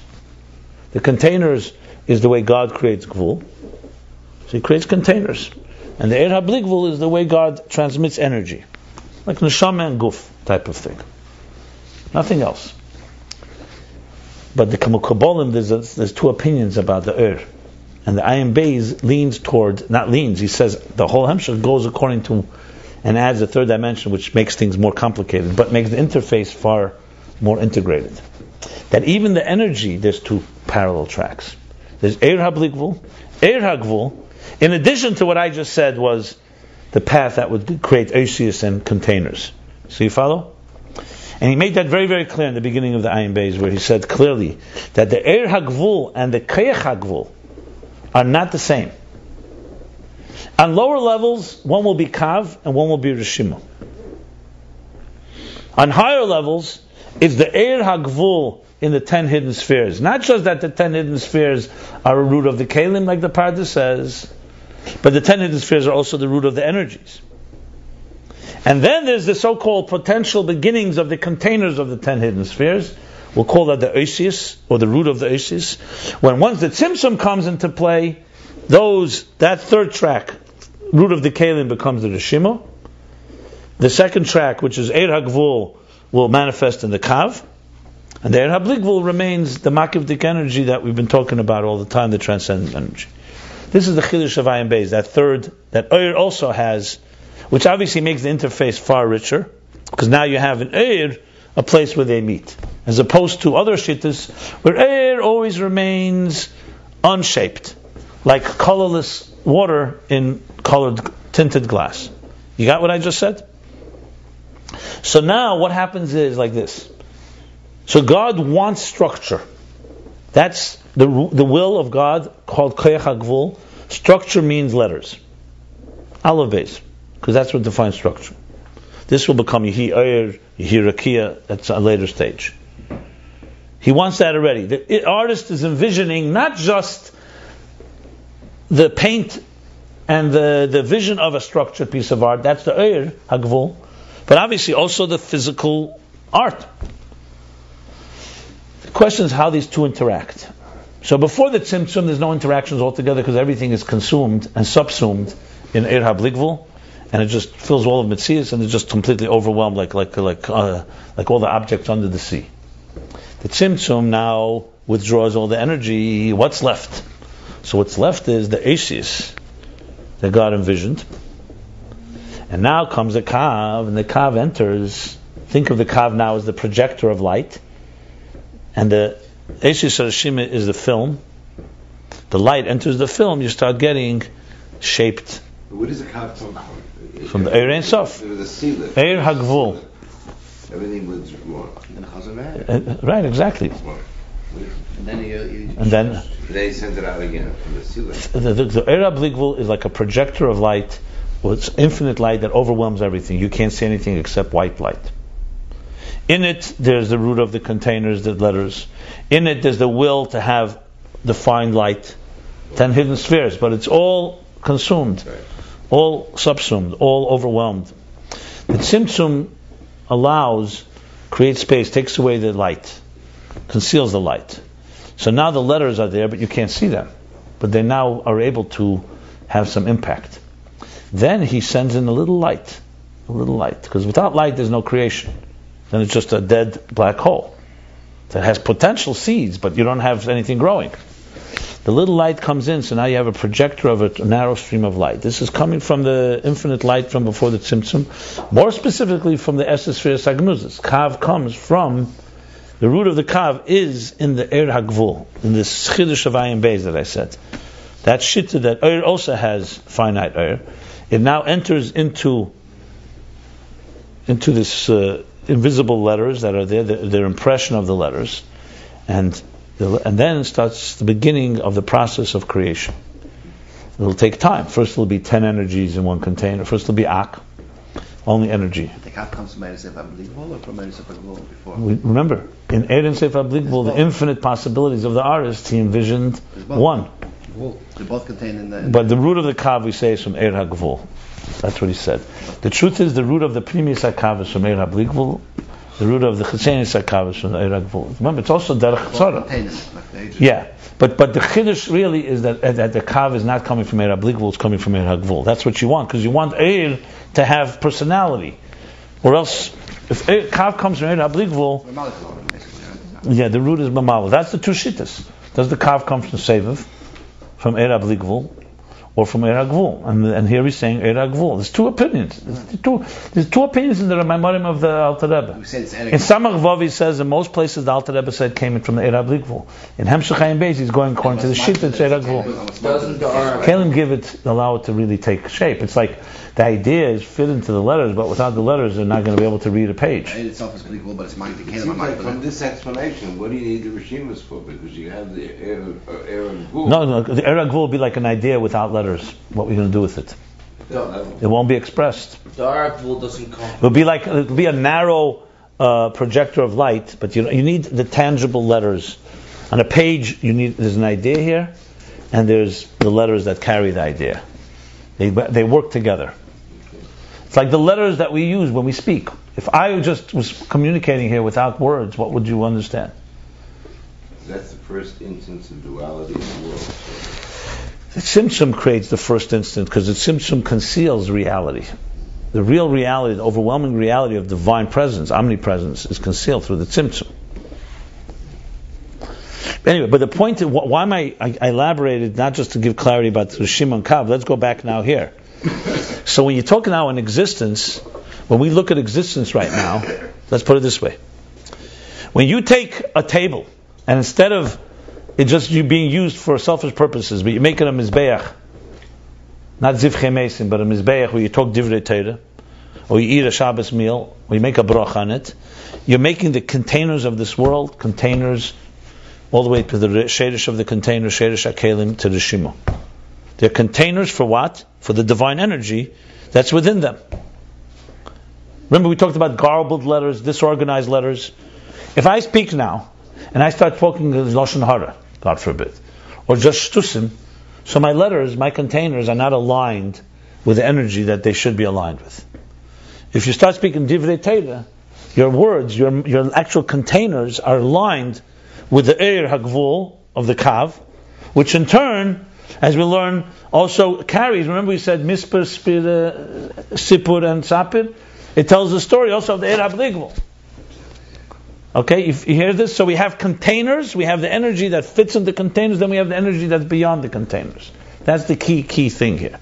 What he's doing here now, he's saying, we just said that the Kav, even while it's communicating to us, uh, uh, let's say a beginner student, has within it all the panimias, but it's all in the Nakuda, Derech she's saying an example for this is like this. Just like the Rishima is also this way.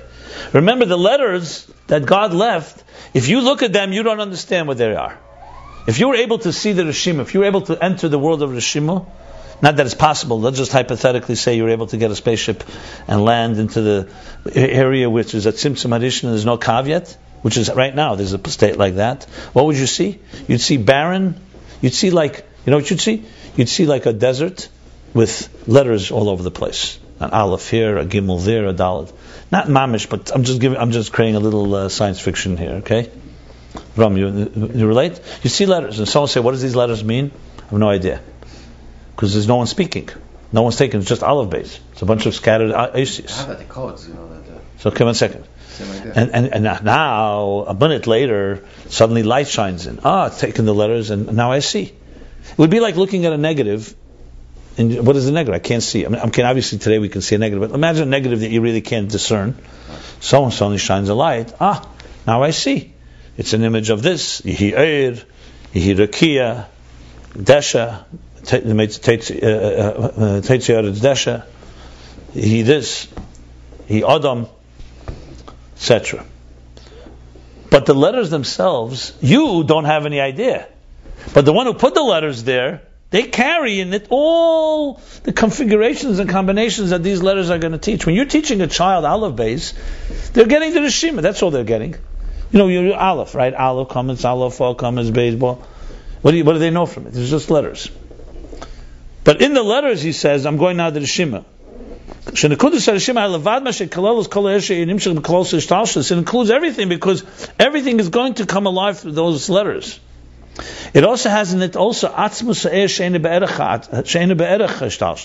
Those letters also have in them the part of the artist that is before he envisioned these particular letters. So also atzmus ha'er.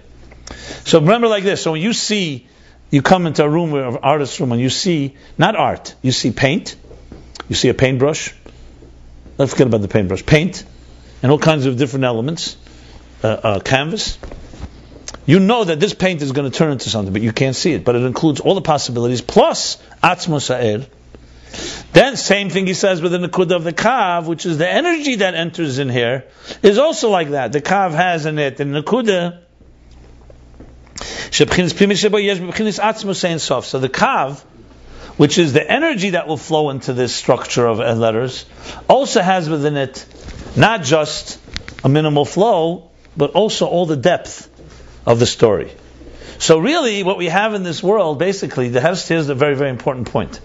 Not only does, well, usually you say the other way around, but not only does Oyer contain all possibilities, but also the Kalim, When you look at a table, at a chair, at a plant, at an animal, at an apple, at the sky, at a, sem- at, at a cloth, it is it contains in it all the possibilities that God wants to achieve with it, except it's concealed.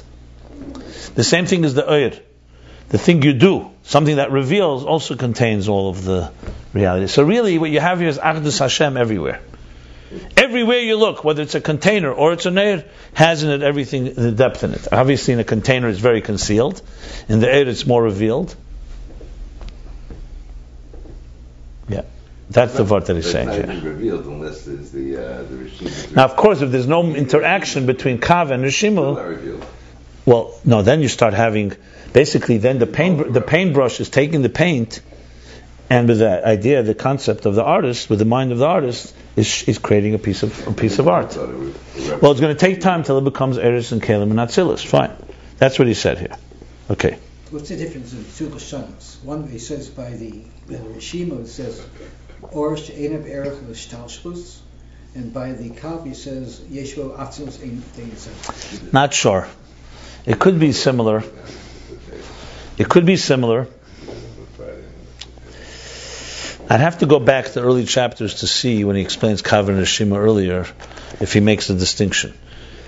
So good. I mean, the Kalim really reveal the Dir B'Tachtenim element more. So they go all the way into the Kavana of Atzmus. The Eir will reveal the, the, the, the, the also the Kavana. I don't know if there's a distinction. I'm not sure if there's a distinction at this point. He's at least definitely not spelling it out. As I said, we have to look earlier. I mean, there's, sure they, they both are revealing all the way to the source what God wants. But I think the Kalim reveal more the etzem, and the air reveals more the kavanah of the etzem. You know, the intention behind it. The Kalim just reveal that God wants tachtenim. So that's like uh, you know. But I but I don't know if he's going to atzmus here because when he says she'ena berach, I think he's talking that both of them reveal the bligvul. That's what it sounds like to me, or at least atzmus and sof. And by atzmus hachachma be'ebchinis primis atzmus akav. So now in Atzilus, in the core of chachma lies the core of the kav, which is derech tzara of the concept as it is in its original mind of the teacher. So in other words, even though the kav, let's say when you learn Chumash and you learn God created the world in six days. He did this, day one, day two, day three. That's the kav speaking. The kav is telling you how he created. But is there a deeper story? Absolutely, because it's only derech tzara. When you're learning in Chumash, you're learning a short summary of the creation. Within it lies depth depth of the reasons behind these six and what did God want and the deeper levels that are beyond what you're hearing now as a student. That's what he's trying to say here. And Atzmis HaChochma, Atzilus, radiates that element. So there's a bigger picture here. He's not saying Er HaBligvul, interestingly. He's saying Atzmus Ein Sof, but I think he means the Er HaBligvul, because he's talking here now definitely Abba V'Imi Law, he's talking the Yud. Because remember, all this was to come to explain Atzilus Sheba Atzilus. Right? Not Bria Sheba Atzilus. That Atzilus Sheba Atzilus is the Mohus. So all this is Abba V'Imi Elon, meaning not Tatan, not Yisrael Sabbat Funa, which is the Hey, but the Yud. This is all the Yud in Atzilus. So he really seems to be that he wants to bring the Er Chodesh. That's the Er Chodesh of Matan Torah. Let's see where he's going with this. But that's that. And just to keep the flow here, that's where he's going here with this. So now the others were able to connect to the Derech Tzara. To they were able to connect to the Kav, and which reveals more. But they did not have necessarily the Etzem was not revealed until Matan. The Chitzenis right? And that's that's mir. Atzvis would be the Chachma. No, no. Here, here, both the, the chach, there's abba v'ime tatoin, abba v'ime eloin. We're talking here eloin. The atzmis hachachme would be eloin. That's what we said before. A- Atzmis hameichim. But then when he says that there's a, there's a the Chitzenis Akav and the Primis Akav could be he's trying to differentiate. And that's what maybe the Eitzei says. Well, that's that's abba v'ime tatoin gets chutzenis hakav, and abba v'ime gets the primis hakav. Yeah. Kadmeni. And this is what it says on the Torah. That when you will say moshla kadmeni, the Torah, the, the Torah is uh, relates to what's called moshla hakadmeni, the primal, primordial metaphor. Moshla Kadmeni, like the first in, of all Mashalim, all examples. The Raisa Mechach Menafkes.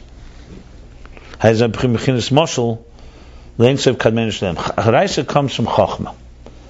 Torah originates from wisdom. What is that? It's a Moshel, the Einsev Kadmeni Shalem, that means Moshla Kadmeni. Not that the Moshel is the first Moshel, it's a Moshel on the Kadman.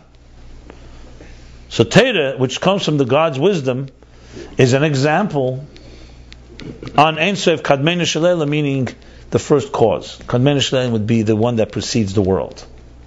V'yadua the Moshel Inyan HaParsa. As we know, and we learned this earlier, a Moshel is the Inyan of the Parsa. A Parsa is a curtain. Like in the Maimon and Vayera. Which he's cited earlier quite a number of times. Umavur and it explains there b'hamshachas b'hamshachas she'adei parsa l'gab b'hamshachas she'adei. He explains that there's an advantage of a transmission that comes through the curtain over a transmission that comes through the conce- through concealment.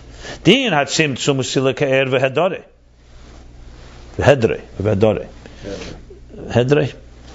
The union of a tzimtzum is removal of the energy of the light, the hedre, and its uh, and, and the lack of it. Huh? It's absence, right? The absence of it. So tzimtzum means concealment. Mashenkin parsa. A curtain is not a airtight enclosure. It's a curtain. So muhusa the essence of the core of the energy is mislabish, manifest, misalim and concealed by parsa in the curtain. Like the muhusa animshal, the essence, the core of the of the metaphor of the moral is literally manifest and dresses up and clothed in the example. A tzimtzum is not an example. Tzimtzum is silence. When a teacher is this experiencing, when you experience tzimtzum, I'm talking about tzimtzum arishin here, it's utter silence. It's a preparation for a flow. But what you're experiencing is darkness, stillness. The parsha is a curtain. A curtain means that there's a flow. It's a flow that's diminished, it's veiled, it's, it's shrouded. It's a muscle.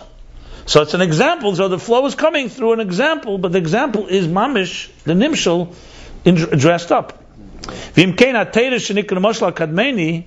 See, here goes interface again. The Torah, therefore, which is called Moshla Kadmeni, a Moshel for Kadmeni,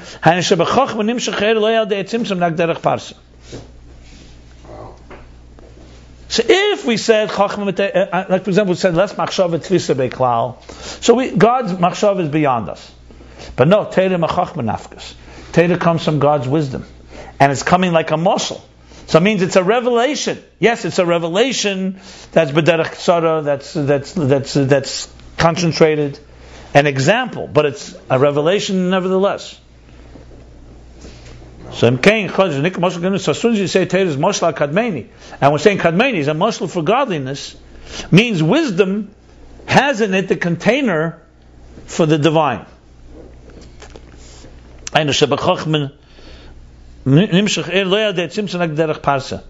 Because was Simsim, it wouldn't be able to come through, it wouldn't flow through, only like through a curtain.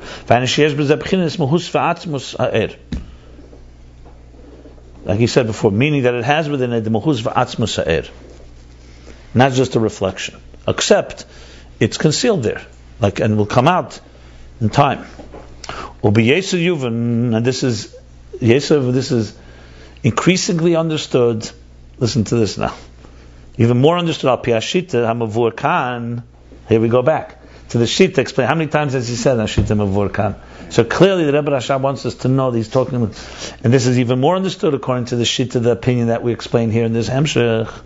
The Gam b'sheir shakav k'meishu be'erin sof yeshem eses sfira shein be'erin sof. Answering your question, exactly what we just said. That also on the root of the kav, the way it is in the innocence of the Ifnei Tzimtzum. I love lines like this because it's a reality check that we're on the right track. You know, sometimes you read, you say, "Oh boy, I don't know where we went," but at least he's creating a, a reference point that even the root of the kav, where is it? It's in the Erein Sof Yes, Shemes spheres. Even in the root, it has ten spheres. Er Hagvul. And those are the ten hidden spheres in Erein Sof.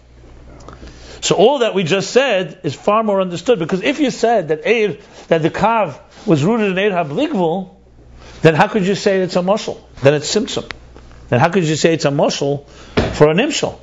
It's concealment. Wow.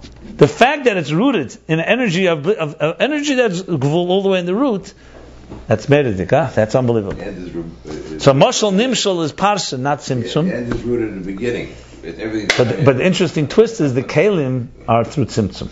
The kalim do not are not like parsa because they're not the kalim. When you look at them, you're not going to see anything. The eir is going to reveal the eir hagvul of ein seif.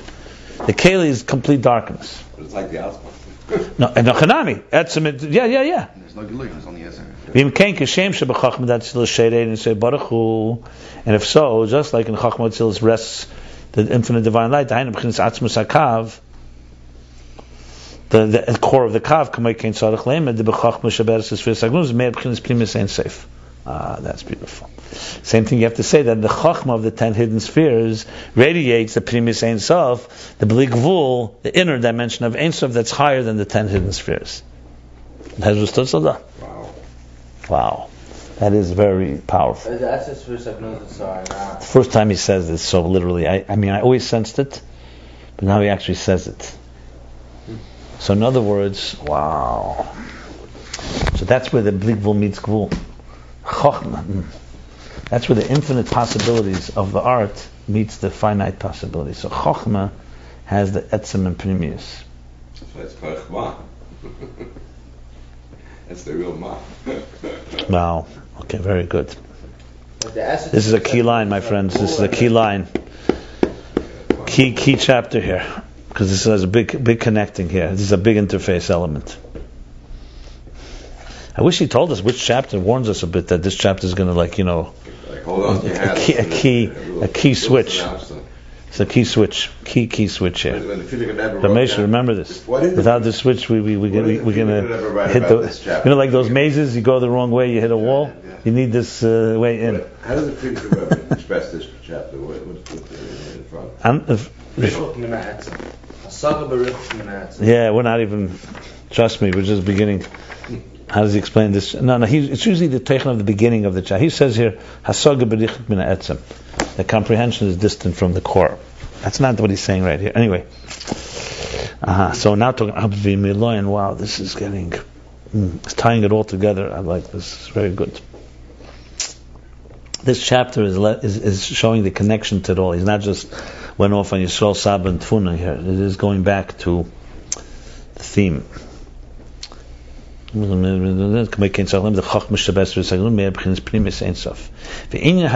Okay, one second, one second, one second here. So now comes the question, so what's the role of the tzimtzum? Since it's like a parsa, an example, what's the tzimtzum do in the kav? So you could answer immediately, tzimtzum is the kalim, not the er. So he's going to say now, inyan had tzimtzum is bar leil peirachav beis, and the inyan of the tzimtzum we explained earlier, chapter 22, shezeu rak li spheres protis. That's an only to create distinct individual spheres. The hainu shespheres achach metir nimshach sphere miyuchedes ba'atzma. That spheres achach should become, should be transmitted as a distinct and unique and an isolated sphere. V'hi hi eisa achach meshabes spheres agnuzis. But he, that is, look at the lashon here. But that is the same chachma, that ten hidden spheres. It's rooted in God's mind, in God's energy of ten hidden spheres. Just over there was more. So what does the tzimtzum do? The tzimtzum just is there to to allow it to become distinct. So in essence, it's really a parsa. It's really a muscle that's manifesting, but the tzimtzum causes that you should actually have distinct entities. That's one thing. Well, Kamoishin is bar Kamoishin is bar of gimel, as we learned earlier, chapter twenty-three. Hamoshel miteves baruch. The example we learned that remember the letters when they're separate and they come together. From the word baruch, kishemafridin habeis bifnei when we separate baruch as beis reish vav. Oh, this is refreshing us from there. Now, when you separate the beis alone, so is the same letter in the word baruch, but now you see it as a distinct letter. And for us, mamata lamaila, there's no way you can teach someone baruch if you don't first teach them aleph beis beis reish vav chof, right? So Mamayla Lamata from above, it's all energy that becomes Asius, then becomes the Gvul, Kecha Gvul, Beis, and so on. But from the bottom up, you have to begin a letter by, by itself.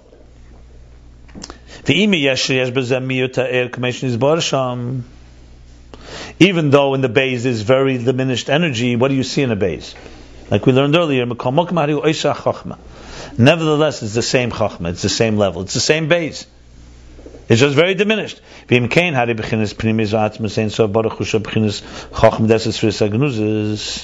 So if, if that's the, if so, the inner dimension, the core dimension of Chochma, the ten hidden spheres, Nimshach Aide Primis Akav, transmits through the inner dimension of the Kav, not the outer, but Bechinis Atzmis HaChochma Datzilis, into the core Chochma Vatzilis. Okay, what time do we have? Hmm? Everyone understands where we're at? So this is the shita. If the other shit uh, that the A goes all the way to the Er Habligvul, so this would not be understood quite the same way. How would you explain Moshe Kadmeni? How could you say Torah Chochma Nafkas? It's a, it, it doesn't have a root. There's no a root for the Chochma of Er, Er Chochma. There's only a root for the Keli, but not for the Er, for the wisdom. But since the root of the Esesphiris and shit is, is in the of the Kav is rooted in the air of Esesphiris, so therefore the Chachma of very nice. In other words, according to the other shit, the Torah would not be able to lead us into Erein Sof through our wisdom. You'd have to do it through Kabbalah Sel, through Nasa, not through Nishma. Mm-hmm. That's the shit. Now he's qualifying. This is all only in Chachma. So what do we have now? What does Chachma Vatzilis give us? So the Chitzenius Chachma Vatzilis gives us the muhus of the reflection. Atzmis Chachma Vatzilis gives us the Pnimius and Atzmis of Chachma of the ten hidden spheres, which itself gives us the Atzmis and Pnimius of Erein Sof that's higher than the ten, than the ten hidden spheres. There's like a there's a, there's, a, a tzimtzum like every place, even though there's an aura it, has, it sort of exi- exists on every level, the same thing. On which way you look at it. I don't know what you mean, but But just like you said, the, the, the, it's really, it's really a Gilead. no, I wouldn't call that. Parsa is more of a gilead. when when a teacher stops for a second and makes Tzimtzum is total concealment. Parsa is revelation. right, That is Right. manifest. But Tzimtzum means concealment. In this case, he explained what is the Tzimtzum's role, therefore, in the spheres, the Eris of spheres. We know the role that it allows the containers. It allows them to become distinct. Allows them to become distinct. You see, the Moshel and Nimshal is that the same moral is now explained through the example. That's a parsa. So Chachma of Atzilus is like the base of Baruch. It connected to Chachma of the ten hidden spheres. But what allowed it to become a distinct base? That's the thing. Without the Tzimtzum, it couldn't have become a distinct base. Once it is, it's a muscle for that which is higher. So there's two things going on when you look at a word. It's a muscle, that's really Gilead Helam. The Tzimtzum is really, allows it to be a distinct entity. That's what he said here. Now he qualifies all this and says, remember, we still have to go back to what this is, Abba uh, Imi Elon. The kol zeh b'chochma dafka liyashach chochma. And all this is specifically chochma, because now we have the challenge the other way in the interface. Suddenly you tell me that chochma leads us all the way to the deepest levels. So one second. So we're just saying finite becomes infinite. We're just suddenly saying a structure becomes beyond structure. So he says, no, it's the chochma. It's not like suddenly all of existence goes into lifnei tzimtzum. You understand what I'm saying? It's chokhmah because chokhmah is a keli for it because chokhmah is a diyah. Chokhmah is subtle. Chokhmah sees. That's why it's a keli, a container, and can transmit these highest levels. It's a true interface. But Bina doesn't have that. Bina already is comprehending. Comprehending is going to block that ability to be a transparent channel. So chokhmah is a diyah. It's bechinsi. V'gam ba'askol de chokhmah ikru sichlis. And even the seichel of chokhmah, not just Riyah in a sense that you get a sense of the truth of it. Even the comprehension of Chachmah, the main thing is not so much understanding, but Hanochas Sichel, Selektzach. It resonates. As we learned, Commissioners Baraleel, Pedig Membeis, as we learned in chapter 42. He's really bringing the chapters together here again. Aval babina shebchinas asoga, but bina, which is a comprehension, not kol asoga, hu barichuk mina etzem. As soon as you say I comprehend, it means I'm not it. as we learned. You're comprehending it. It's distant from the core. She'ena meir shama atzmus kimar levad. Remember we learned that in chochem it's meir b'derech kiruv, and bebina b'derech richuk, and in zah b'derech chalein, a window. Going back to that. In bina it's richuk, it's already distant. The core is not radiating. What do you have? Only ha'ara. Only reflection. Now remember, even chachma we said, the lower chachma has only reflection. Right. But here it's even more reflection of the whole thing. Like we learned before in Eitz Chaim, that in Bina, Ein Sof radiates from a distance. That's why we say that the main uh, cosmic order begins from Bina, not from Chachma. Dafka. The Fishiyah Ha'ara because it's only a reflection of the core, V'zeu Shahabina Nikra Lekim Chayim. And this is why Bina is called Elikim Chaim, The Masha Eren, so Nikra B'Shem Chayis, Hari Kfar Hu B'chinas Yirid, Masa Madrega, B'chinas Atzmusei. Elikim Chaim means the living God. We say Elu ve'elu, Divrei Elikim Chaim. It's Elikim, which is already shows you that it's a, some type of concealment. But Chaim, because life itself, the life force, shows you it's already a descent from the core. When you say the core of something, you can't say it's not shaykh. It's not possible to say that is the live. It, sustains life. That is the giver, the giver of life. So life itself is telling you that it's already so-called an outer expression that it also gives off life. It's like giving off energy. It's not the core. Not only the nivra, but even that it gives life and sustains the netzal. We're talking about atzilas, the emanations. Because really, bina is not, not talking about giving life to biyah. So biyah, you could say, you know, it's an external element that giving life to creatures. We're talking here, bina, elakim chayim bina is giving life, is mechay the emanations of what of zoh and malchus that are the lower levels of atzilus. So the chayda, what are we saying that it's a lower level? Nevertheless, Nevertheless, you have to say that even as it's Gamashir Netzimimeta, it's also a descent from the core. In other words, you don't say Chochma is Mechaya, you say Bina is because it's already up, applying itself to giving life to lower levels. Like we learned before about Midas. Midas is already outside of the core intelligence because it's already applying it to some way. Okay, that's not referring to that. That's the source. Ultimately, Chachma also gives life, but the mother is the one that nurtures, so to speak. Chachma is- of the Eidin Sof Atzme moved be'erech meishtalshus because Eidin Sof. See now he's going back to the other side of the interface. Look how um, how much interface. First he said how it's connected. Now he's going the other way around and saying it's only connected through Chachma. Bina is is already why because Eidin Sof Atzme moved be'erech meishtalshus. Because if you didn't go with this second half here, you'd say you know what? Hey, we're we're now buddies with God. We go all the way to Chachma versus Agnuzis. That connects us to Atzmus and. Chavra Lap. Here we are. Eh, I, it's not true. Then there's, another, there's only one God, my friend. Then you say that, and then now he's saying, Eidin Sof Atzmi moved Berech Mishtashlus. Sof itself is separate. Look, here he's going out to V'isei Esachedai uh, uh, uh, Pone. That you have to not look. Now he's talking about the not looking. The part that we relate to, he said, the muscle. But now we have to also understand that there's an element of distance. Yeah. So eh, that, you see it literally. And it says Asma Muvdul, he says Nushtas. V'lo yitaka sham inyan v'loshen chaya shu mechaya. So even when you say God is giving me sustenance, that doesn't mean you're his partner. He's beyond you. He's that's beyond you. And you can't say there, lo talking the thing of loshen, the Indian, or the loshen chaya shu mechaya. Giving life. It's beyond that. V'im ken abina shenikra lekim levad? So Habina, which is called the living God, is Elohim as he's giving life and sustenance. That's only a reflection. Now we conclude this V'zeu di Yisrael Saba v'tfuna im bina b'chlal.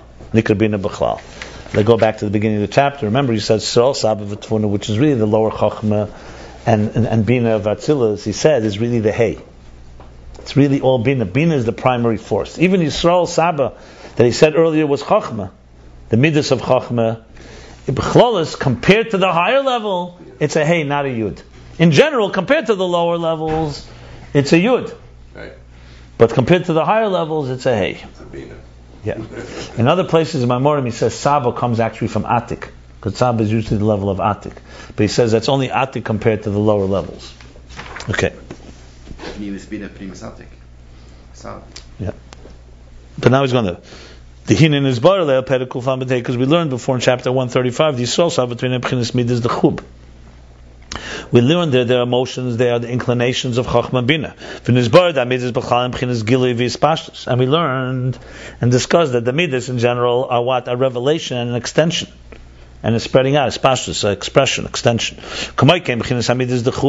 Same thing as the, the, the inclinations in chachma bina who inyan ha'tiyah v'amshacha. Shein ze b'chinas atzmas the chachma bina. We learned there that it's only the Hatiyav Amshacha. What does it say? The Midas. It's how they're already getting to the Shar. Remember the gate that's outside, that's at the edge of the Chatzar, of the courtyard. That is, so it's already, Shein Zabchinis Atzmas the Bina. It's not the core of Chachma Bina. Or Befrad Bechinis Nihi the Chachma Bina, not just Midas. We also spoke that it's Nihi, it's already how it's applying itself to, to, to explain it to students. Shein Eich Lashpiel is Galas Bedover HaNivdal. It's how to we transmit and to reveal to something outside of yourself. In other words, it's already how to bring it into a mushal. It is already a mushal. One second, how to bring it to a mushal. The email, one second, one second, okay, so one second. One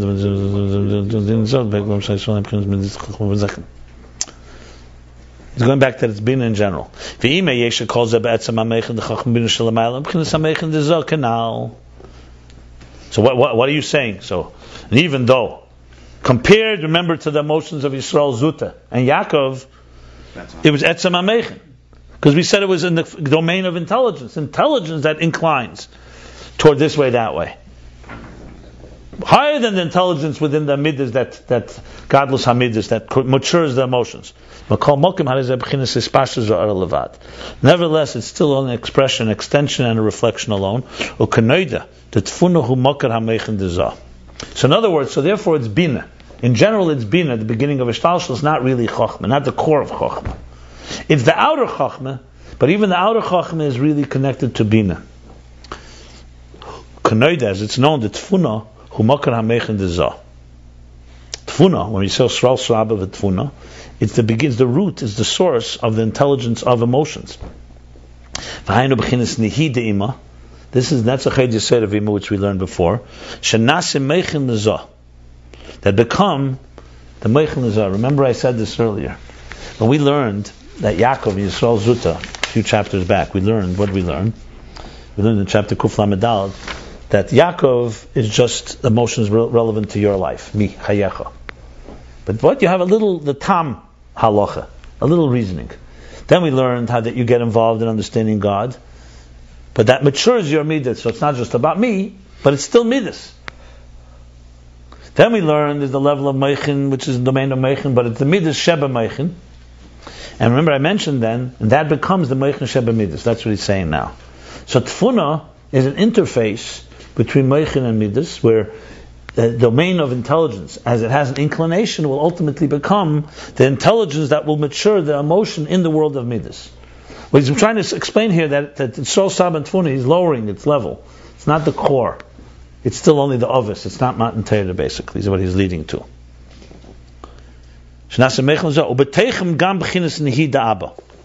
And inside of Nihi De'ima, you also have Nihi Da'aba. So that also is becoming a source for the next level called the Midas.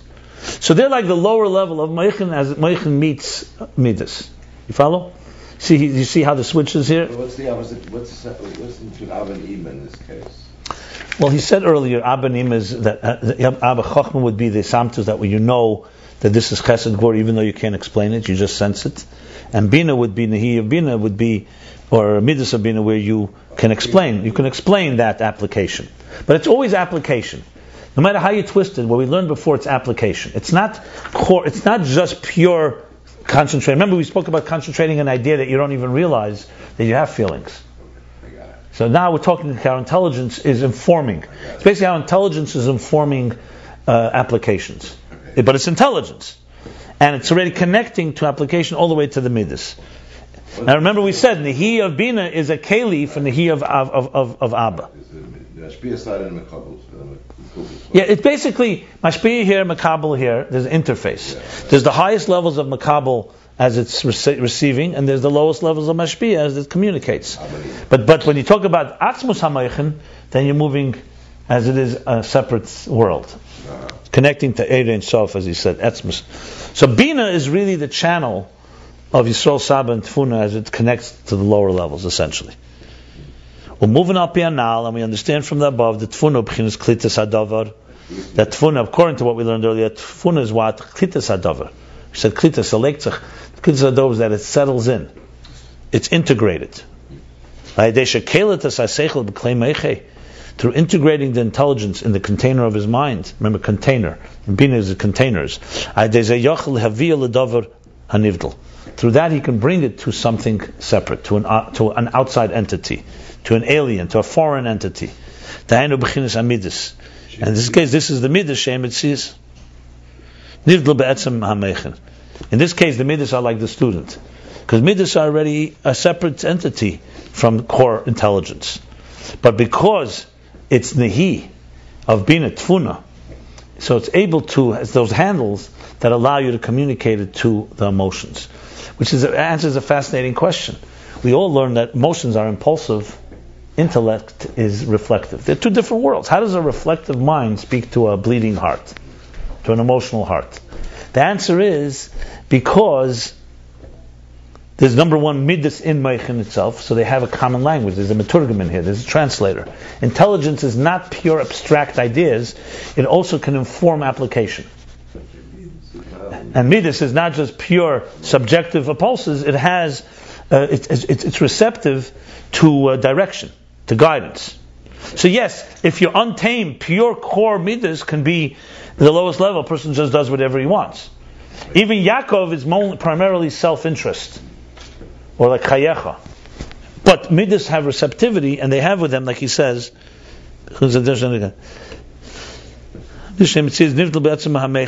so it's, so it's able to communicate to each other. They both have, in other words, a dimension of the other, or else they wouldn't be able to communicate. Go explain, for example, to an animal, don't go hunting. An animal doesn't have that. It's, it's raw midas. Its intelligence is only to know how to hunt. Don't tell me not to hunt. But in a human being, the midas have in them an element that they're receptive and so on.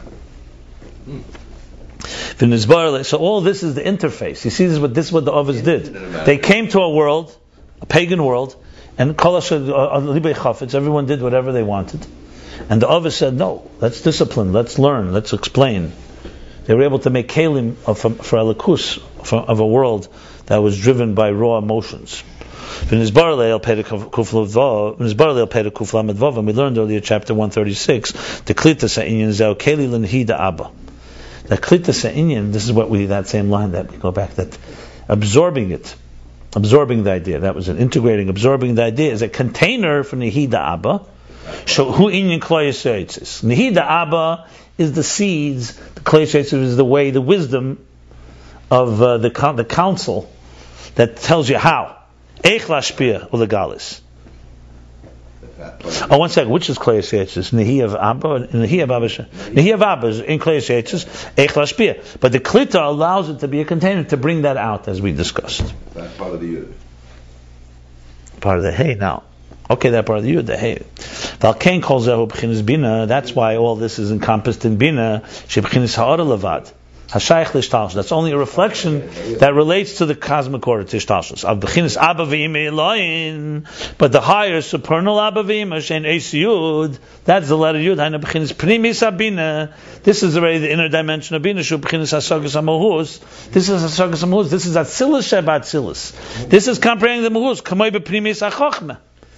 Just like in the inner dimension of Chochmah. Primis Abina, in other words, has a similarity to Primis HaChochmah.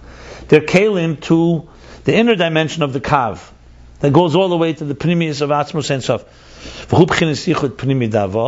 This is the inner unification of Abba Ve'ima, not the outer. Shemer b'ze Atzmos and Baruch And this radiates the Ein Sof. That's the higher dimension.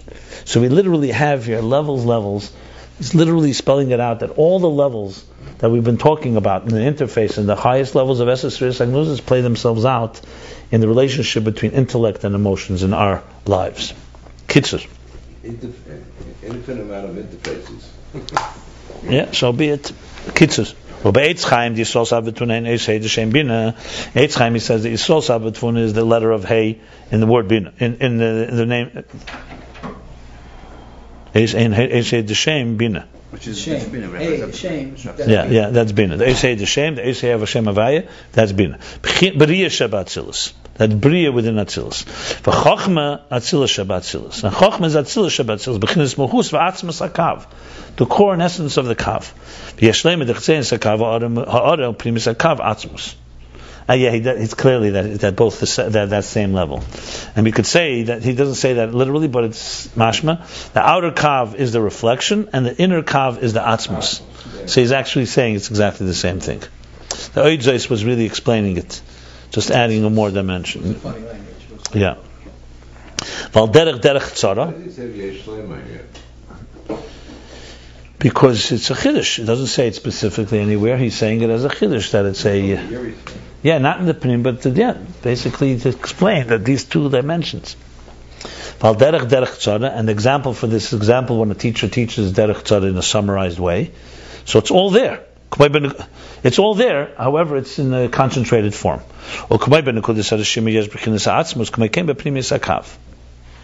Oh, that's what he's saying. I thought I, I, deeper than I thought. Ah.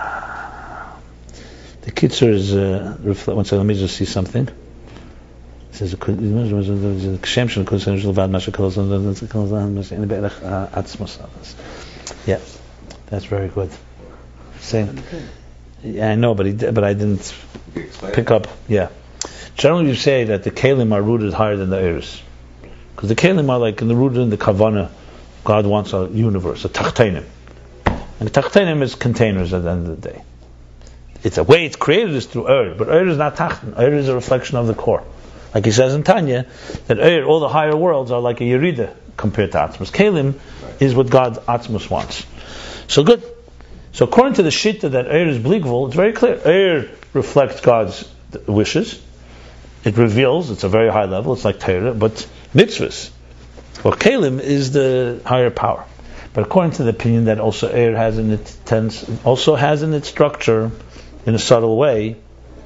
So he's saying the Pnimi Sakav has in it also the the code of the atz, the etzem. That's what he's saying here.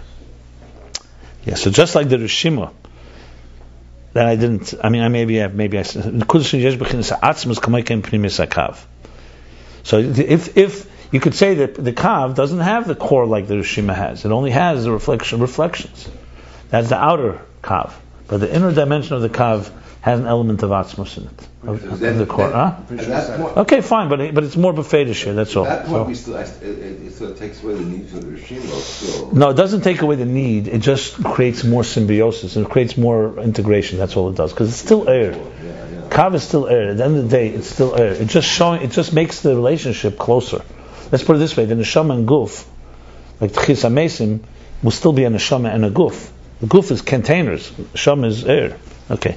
I may have said, okay, and this level radiates in the inner dimension of chachma. That's why Torah called the mashal the primor, primordial mashal, the mashal for the for the kadman. Parsa she'etzem misalim. It's like the it's it's it's not tzimtzum. It's parsa. It's a curtain where the core, the essence, is concealed in it like a mashal, a nimshal in a is meir b'chinas ha'primis v'atzmus. And also, also it's an also that in the chachma of the ten, the wisdom in the ten hidden spheres radiates the inner and the core of of, of the of the energy. But tzimtzum the chachma hagluy hirak miut. Well, he's adding things here that are not in the prim. Now he's saying that tzimtzum of chachma gluya is only a diminished tzimtzum because remember he said what's the point of the tzimtzum is to make a distinct entity, but it's only miut. Not Day, he speaks about that in the chapter 20. Yeah. Why is it mute? It's siluk, uh, mute because it's the same base. It's just making it distinct. Ah, so we have here three levels. Tzimtzum b'derech siluk is what allows the containers to be. Tzimtzum b'derech miyut allows a distinct chachma to emerge. Then it would And parsa is what allows it just to be, it carries the energy like a moshel and a nimshel. So parsa and tzimtzum b'derech miyat are very similar actually. I have to think about that.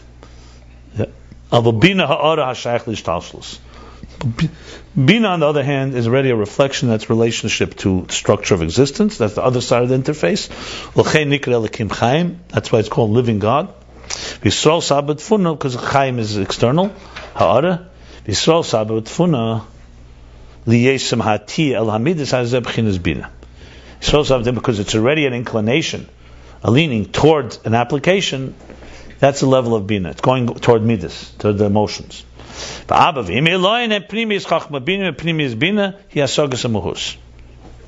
And Abilam, the higher Abilah is the primis of chachma bina and the primis of bina. That's already the comprehension of the core. Let me just say one thing here before. So he added this miyut. It's very interesting here. So we have. You remember we talked about the Yeshma'ayin and Gilead Helam of Atzilus. So we said first we say the Gilead Helam is only for the Ur, not the Kalim. Then we say even the Ur. I'm saying the opposite. The Kalim, okay, the Ur is.